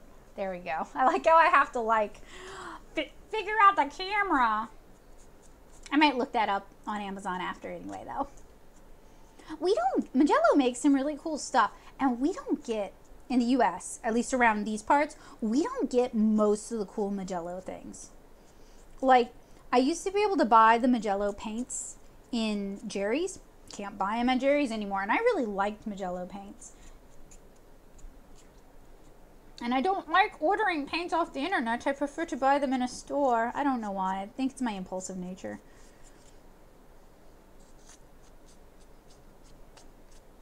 So what I'm trying to do is I'm trying to, I have all this salt on here. And I'm mostly just trying to gently remove the salt.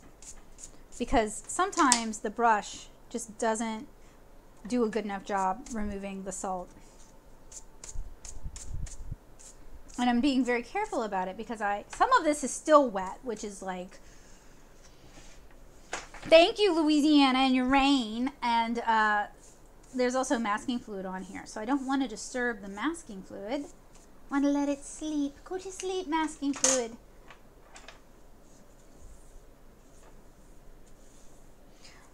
So I have hardwood floors where I'm working. And uh, that makes it easier to sweep but if you were working in a room where you have carpeting, you want to be much more careful about not sweeping it onto the floor.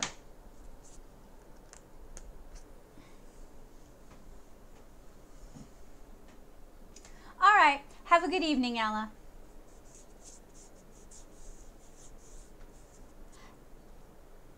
That's it. That's why I like getting it in the store. And also, usually stores have like physical swatch sheets that you can reference. So like someone who works there has swatched the colors out and that's so much more color accurate than hoping whoever mans the store did a good job color correcting the scan. Now, the salt is totally optional. You do not have to do the salt. It did not have as much of a flower effect as uh, I wanted it to. So that's kind of a bummer. Like a flower effect in the the black areas. So, but that is okay.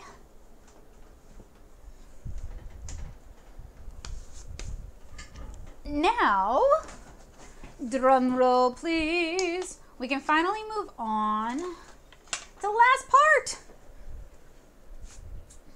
It only took two hours. This is such a simple watercolor painting. It only took two hours. It is not a difficult technique. It only took forever. Now you guys know why I time lapse like every everything I do. Because of this. All right, so finally I am gonna add a little bit of water and it does actually reactivate the cheaper paints. So the Van Gogh dusk colors are kind of reactivating. So I do need to be kind of careful about that. And I'm just applying the water I don't know how well you guys can see, but in kind of stripes, if that makes sense. And it is definitely trying to reactivate the dusk colors. So that is something to keep in mind for my friends painting along with the dusk colors. They're okay, but my recommendation was to just mix your own at home.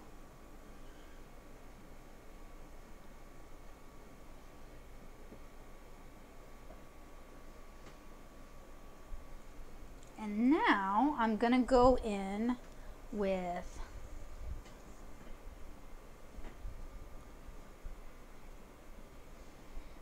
black. And that's just probably like an ivory black. It's a pretty basic black.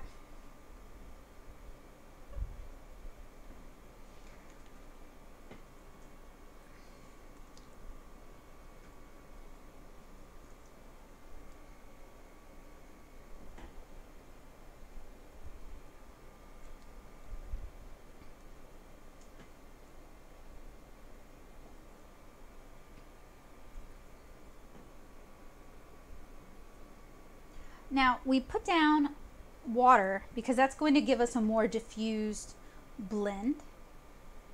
So a softer transition between the black and whatever color is adjacent to it.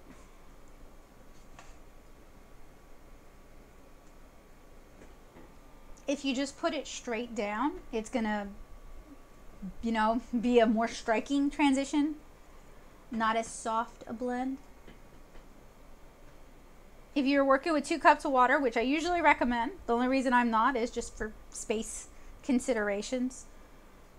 Not outer space considerations, but physical table space considerations. Uh, then you could also apply and then blend out, apply and then blend out, whatever you wish. I'm also dabbing in a little bit of Payne's Gray, which is like a, a purpley blue gray. To give, and I'm gonna dab in some purple too, just to give my, my spacey black a bit more dimension.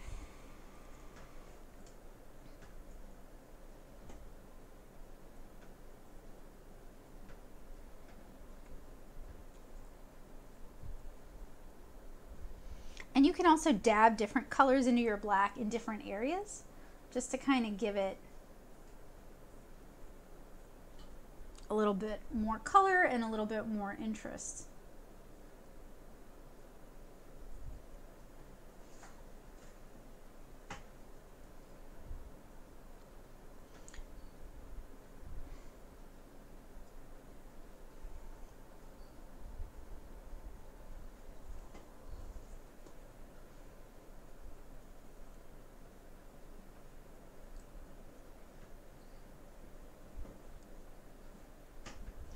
Also use clean water. And this is this is not super clean water, but you know, and basically do lines and then the paint will flow into it.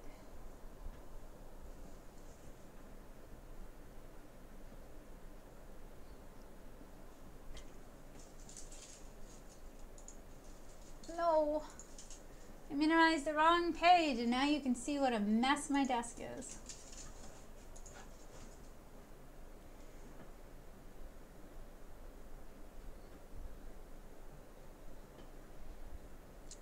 To say, even though the rain makes watercolor harder because it takes forever to dry, there's something just super peaceful about like chilling out, just painting something on a rainy evening.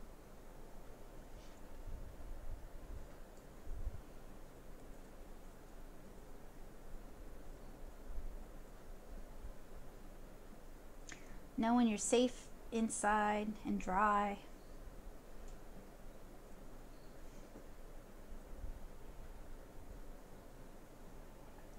I'm probably overworking this. But I'm just kind of breaking up some of the bright colors a little bit with some stripes of either leftover uh, dusk colors or, you know, black and purple.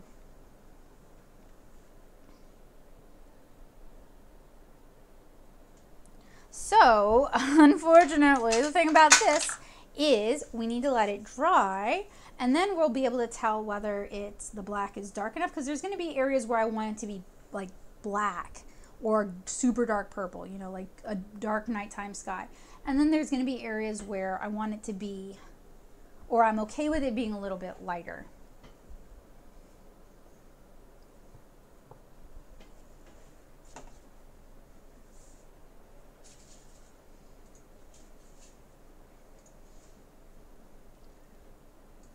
The forbidden paint water. My cat sure thinks paint water is the forbidden juice. The most delicious Kool-Aid. Oh, hi again, Callie. So is this like the negative space between the streams color? Yeah, yeah. I mean, in reality, um, what is it like? Magnetic bands or magnetic interference creates the lights. So, you know, realistically, they are closer to us than like the stars in the nighttime sky. Um, and if we were doing this on black paper, then we could just do just the color. Ah, I really want to do it on black paper now. But this stream has already gone. I mean, and it's because it's raining, frankly, that this has taken longer than I kind of wanted it to. Not that I don't enjoy hanging out with y'all.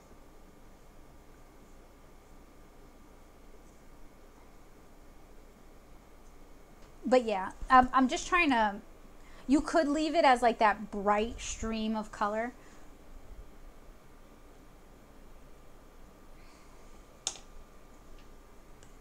And hi, Ella. Welcome back. Oh, now I need to be patient and let this dry.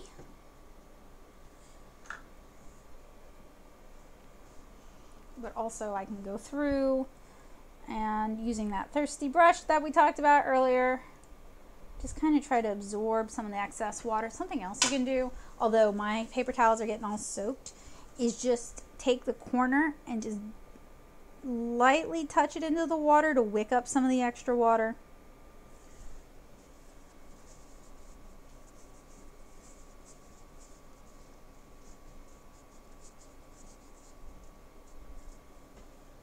Now see, when it comes to watercolor, I don't ever use a drinking cup for my watercolor water. I always use like a, this is like a, a Faber-Castell Click and Go cup.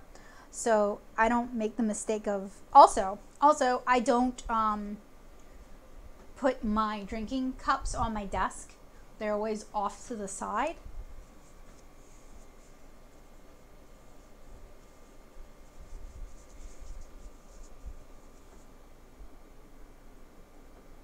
Yeah, paint water is not good for you. Jokes aside, please don't drink it. Paints are full of chemicals and they taste nasty anyway.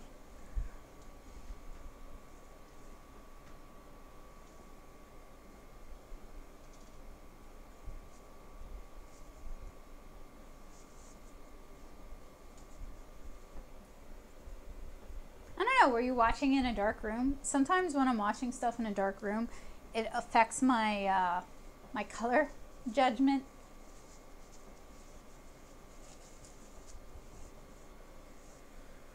Whew.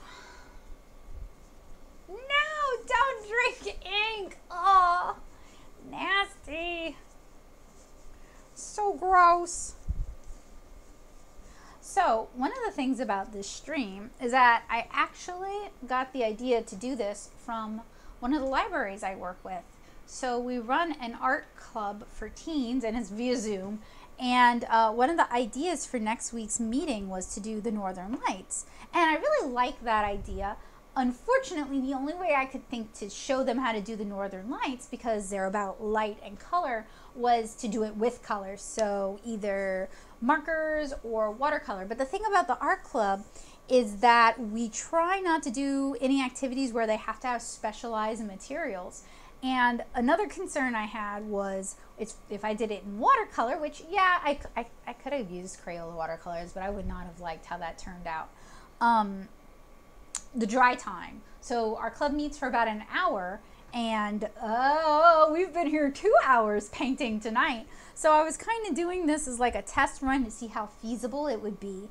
And um, as much as I really like the idea and I'm enjoying how this turned out, I don't, unless we did it on black paper, which is a specialized material, I just don't know how I could show them how to do this in under an hour, especially if it's raining, which I can't control that.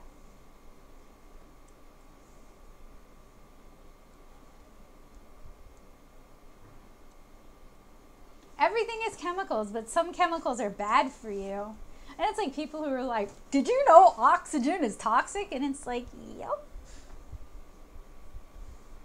Uh, we're probably not going to be doing watercolor that day. She gave me some other ideas too, so I'm going to kind of like work through the list and um, in a way this is good too because if anybody in the art squad wants to do this activity, we've got this recorded, although it's going to be two hours long. Um, it's a paint along, a real time paint along on a rainy night.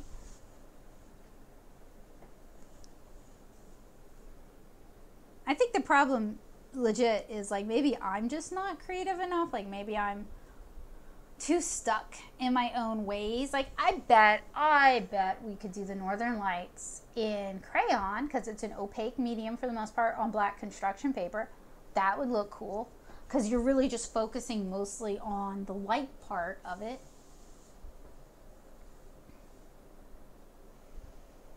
Hmm. I do think for areas where I'm going to just go in with a little more black paint.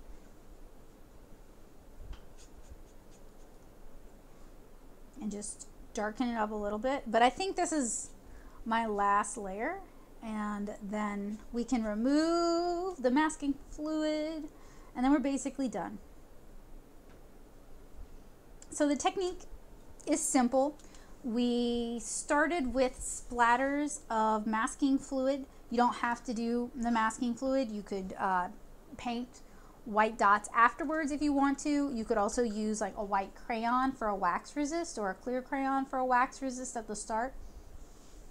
We then painted our vibrant, sometimes neon, sometimes pastel colors, working with uh, working with a lot of water to get those wet into wet blends. We sprinkled some salt into that just to get a little bit of a salt bloom going. Then I went in with the uh, Van Gogh du Dusk colors, but you don't have to use those. Let that dry, and then we painted in with purple and a little bit of Payne's Gray, which is a dark gray color, and black to kind of capture the night sky.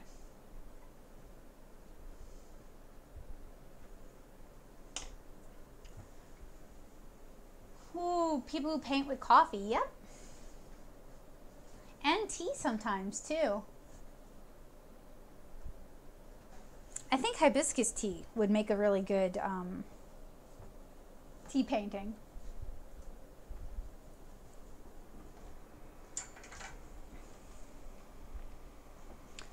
So while I wait for this to dry, because who knows how long that's going to take on a rainy night like tonight, I'm just going to do a little bit of cleanup and that way when the stream's over, I don't have to spend as much time cleaning up. Thank you. I think I think it might look better on camera than it looks to me right now. Not that it looks bad, but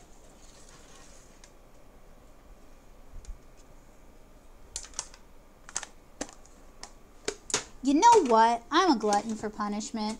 So this is going to take a while to dry. I'm going to just push this off to the side. And I have a cabinet of goodies that you guys can't see.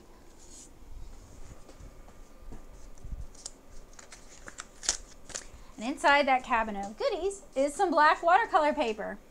This is actually Shizen's black watercolor paper. So you can see what I mean. You get a lot when you buy Shizen watercolor paper.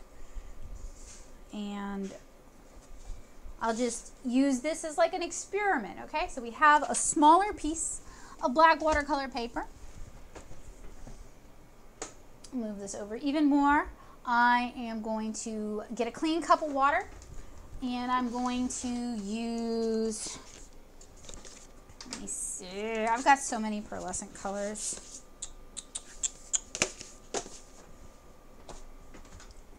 So many pearlescent colors Too bad. You can't use a hair dryer. Well, also, I there's a masking fluid on it, and masking fluid and hair dryers don't mix. Plus, my hair dryer is packed away somewhere, somewhere. Anyway, this gives me a chance to kind of play around with doing the uh, Northern Lights on black watercolor paper. This one should be easier. And then if I like this, I may do a standalone stream where we just do the Northern Lights on black paper. So I'm gonna go get a clean cup of water and I'll be right back.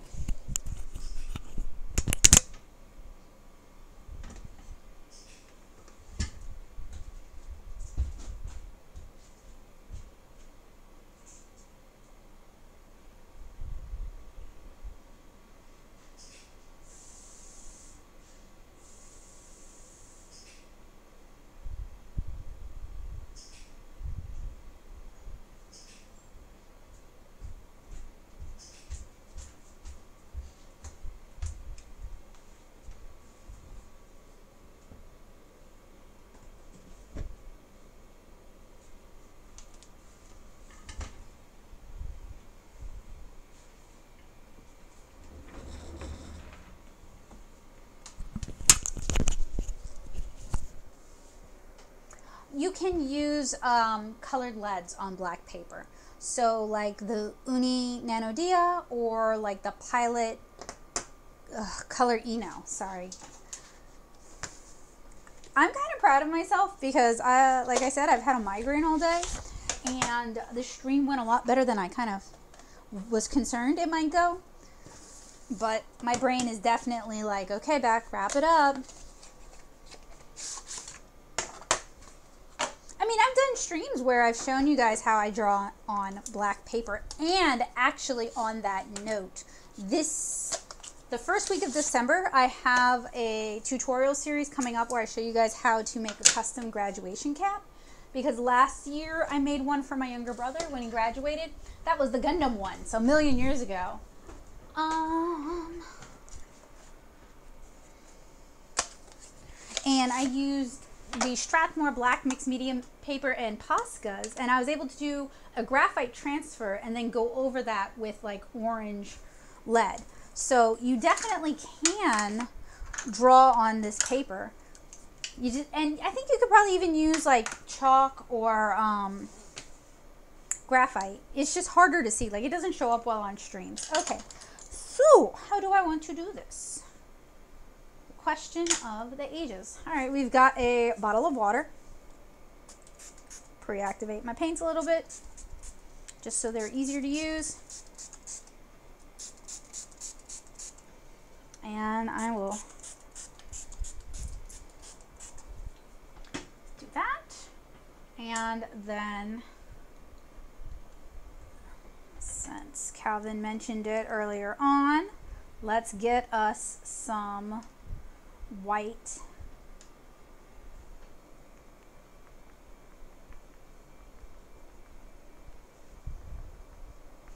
Starry skies on black paper is so easy.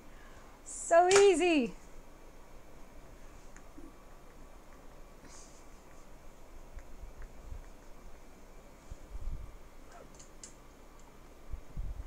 Well, I have a tutorial that'll show you how to do it.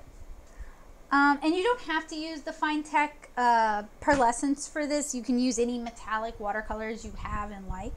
These are what I have, so these are what I'm using. I like them okay.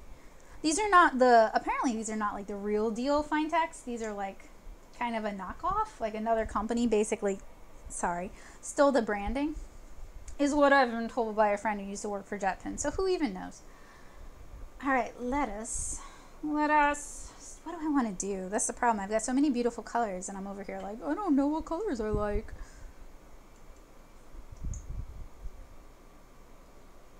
Hema my younger brother was in college for 10 years, so don't you feel bad. It just takes as long as it takes. Some people need a little bit more time.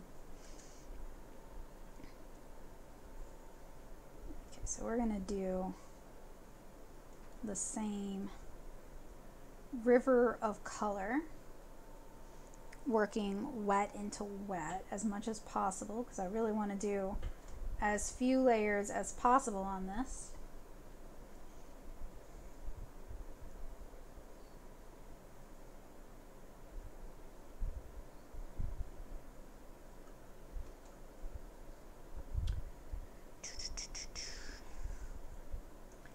activate some purple while I, ooh, that's a good purple.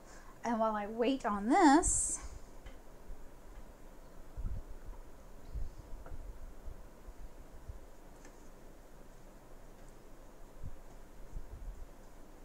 dab in some white.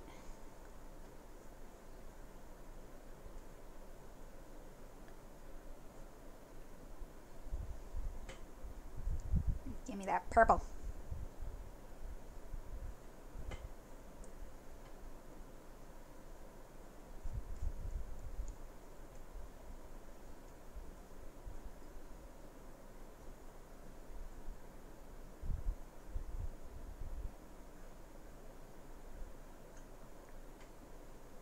probably working too loose with this.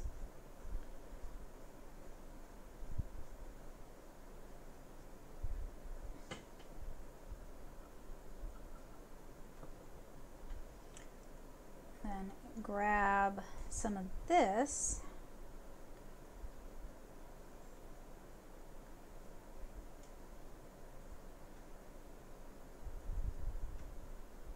Just doesn't look as good, y'all.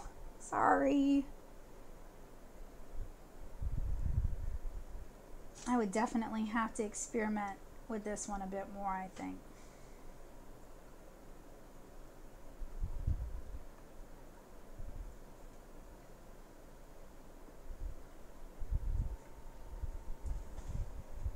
Ow. One of my paint palettes fell on my foot off camera.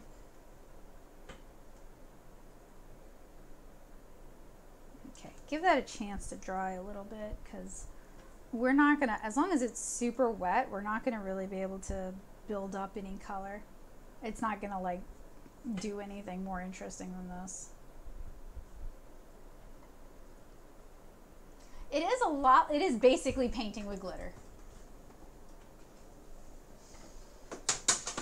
Ooh! I dropped it again. What is up with my under the desk situation?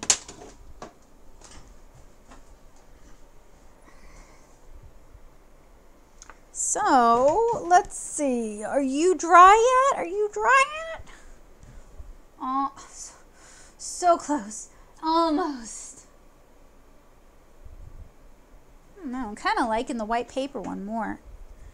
It's definitely easier right now to get that luminous look. Hmm. Why, why not? Why not do something dumb? Why not? While we're waiting, why not do something impulsive?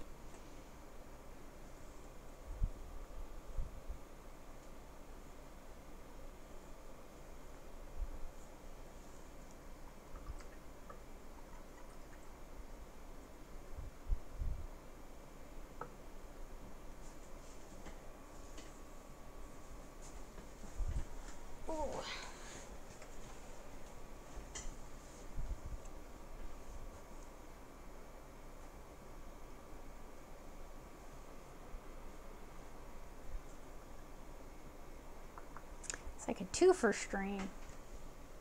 Except I was thinking the second part would be a lot faster. One could do a gold galaxy, just using the gold palette, and that would look really pretty. I'm, st I'm still trying to do the northern lights.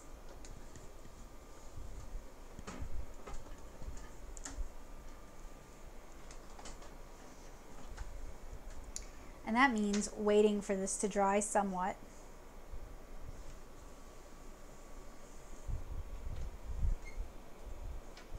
While I wait for the your dog, I heard you like painting the northern lights so much that you're painting northern lights while you paint northern lights.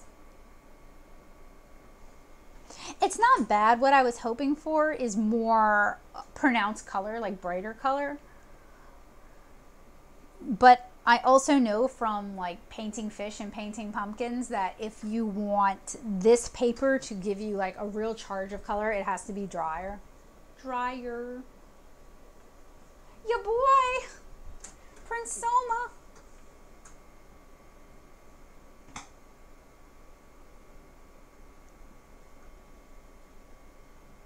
I do like the granulation it's giving me though.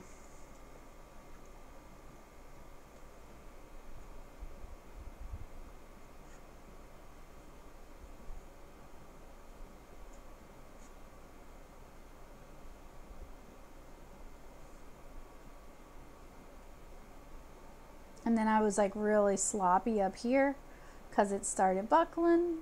We attempt to fix that.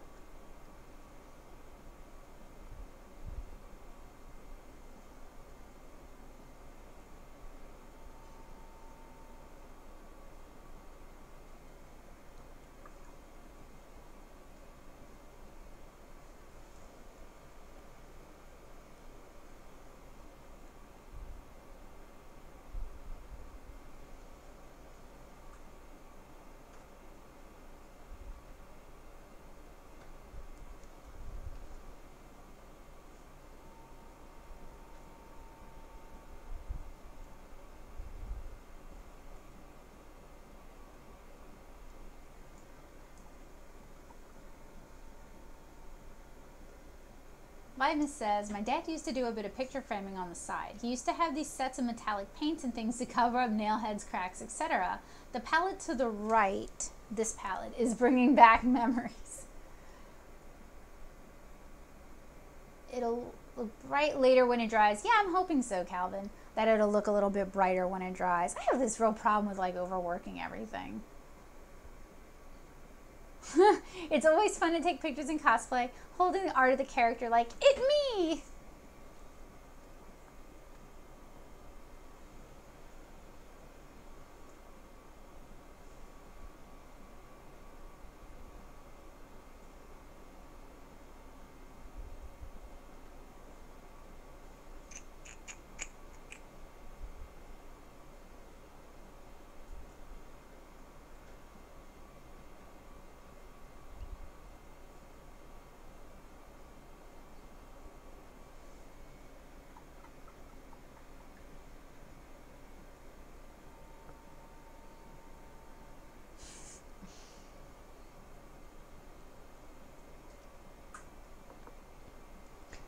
Yeah, that's something I really like about the these sort of metallic colors is you do get a lot of color with them once they've had a chance to like absorb the water and kind of activate.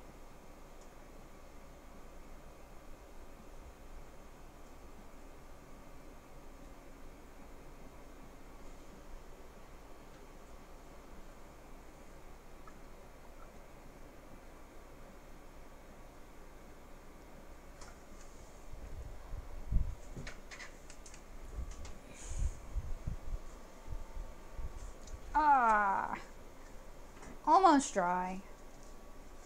Leave it to me to do a wet in the wet tutorial on a night it decides to thunderstorm.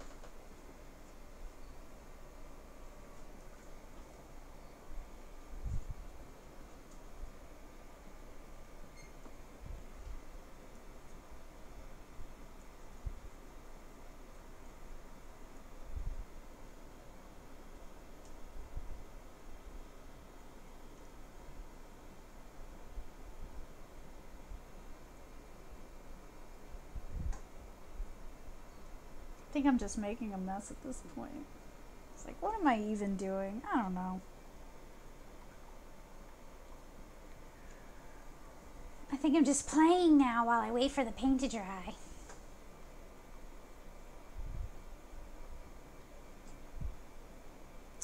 Honestly though, I think it looks, this looks, I think you could do some really nice galaxy stuff on the black paper, but I think the other painting method works better for like northern lights.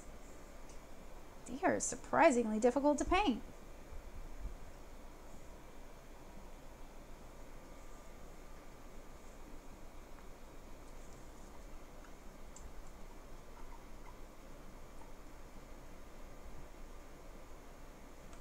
Why am I, why am I doing that one? I was already working with this one. But mostly I'm just waiting for the other paint to dry. Actually, what's pretty, what's pretty is the galaxies in the paint cup. All right, I'm gonna set this one aside. Hopefully the other one is dry.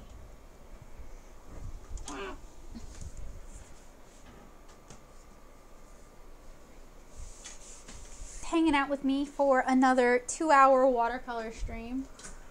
I really kind of was hoping it'd be like a 30 minute one. You need needs to be drier than that.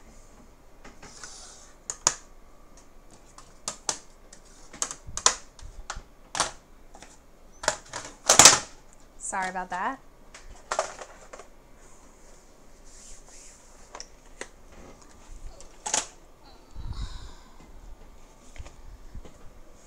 Still wet. Oh well.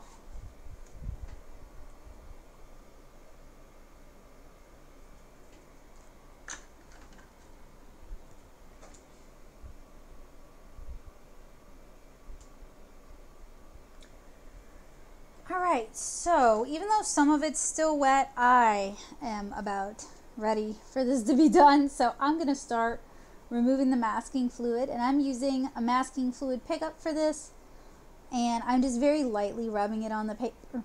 Mm, sorry. And that's how I'm getting the white stars. You could definitely do what Calvin suggested and like flick white paint onto it or silver paint would look nice too. It would be a good accent.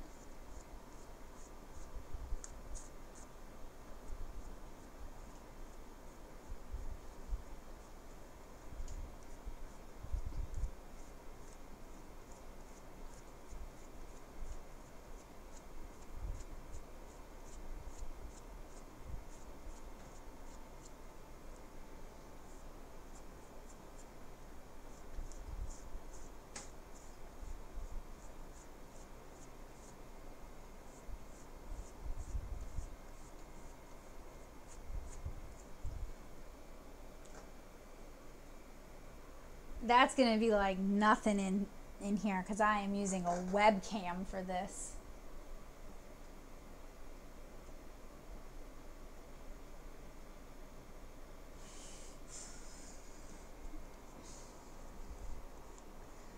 I'd have to make like a VTuber persona.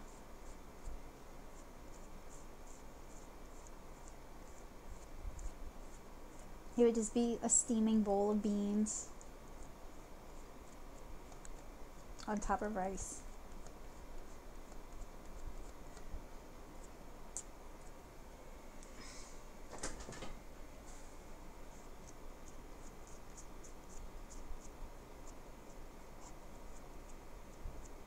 All right, so the plus sides about this is that it's a fairly easy one.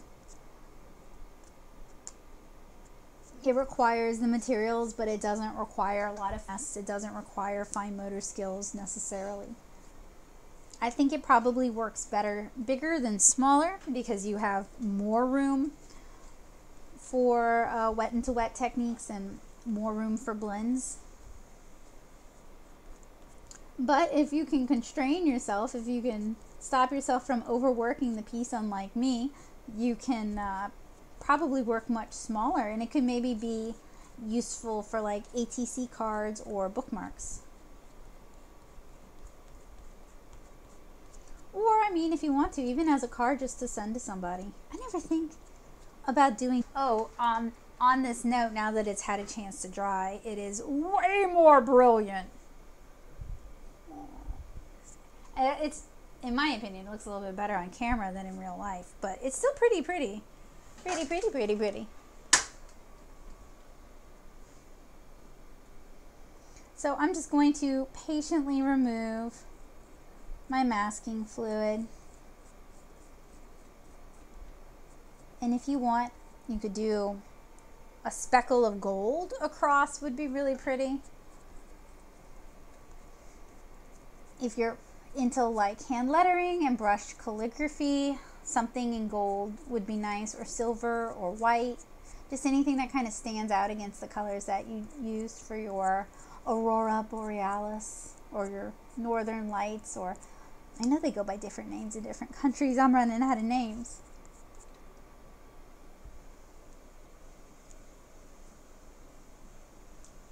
Oh yeah, no, he's not going to do that. That was he, he wanted me to use oh, I forget what it's called now. Um live 2D Euclid like three years ago to make a, a VTuber persona. I don't know anything about 3D modeling, like I just don't.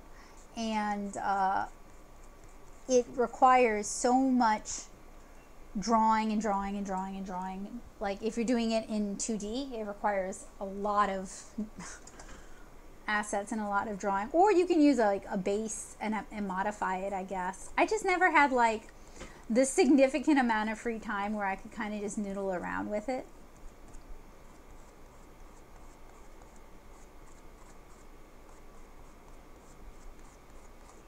I already have so many problems with uh, YouTube thinking my whole channel is for children and for children only. I don't know if I want to give them another reason to basically hide my videos from people. Okay, so I didn't really do any of this, any of the splattering in the center, so at least I don't have to worry about it there. And I keep catching bits of salt, just like in real life.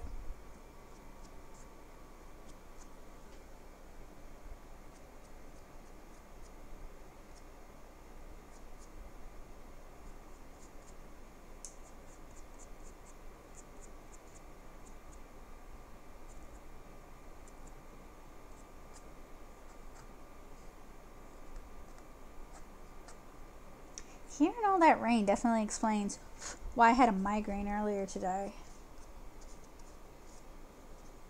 Okay, I think I think we're done. I'm sorry my head probably got in the shot like a whole lot. So this is our white paper neon and pastel watercolors and then black watercolor. And then this is our black paper. Ooh, it looks so much better on camera. Our, and I like how I picked the same colors. This is our black paper with metallic watercolors on it. So that is how to paint the Northern Lights in two different watercolor styles in two different ways on two different papers.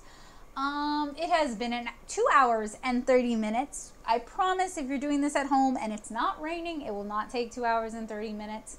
This is really not that long a thing. It's just the dry times on this one. I did tell you guys at the beginning though that the most important material you're going to need for tonight's stream is patience and y'all sure were patient. I sure do appreciate it. So that about wraps it up for tonight's stream. Um, depending on health, I will see you guys Monday afternoon um, to do a kit. If you guys want to hang out and do a kit, it's just meant to be kind of a low key chill kind of thing, um, just to kind of scratch the itch for people who aren't necessarily getting as much social interaction as they'd like. So if you guys enjoyed this video, please remember to thumbs it up. That tells YouTube you enjoy this video and they'll show it to more people. And hopefully I'll see you guys again soon. Thank you so much for hanging out with me today. I had a lot of fun painting the northern lights with y'all and now I know why I will not be showing this to the kiddos in the art squad because it just takes way too long. So have a wonderful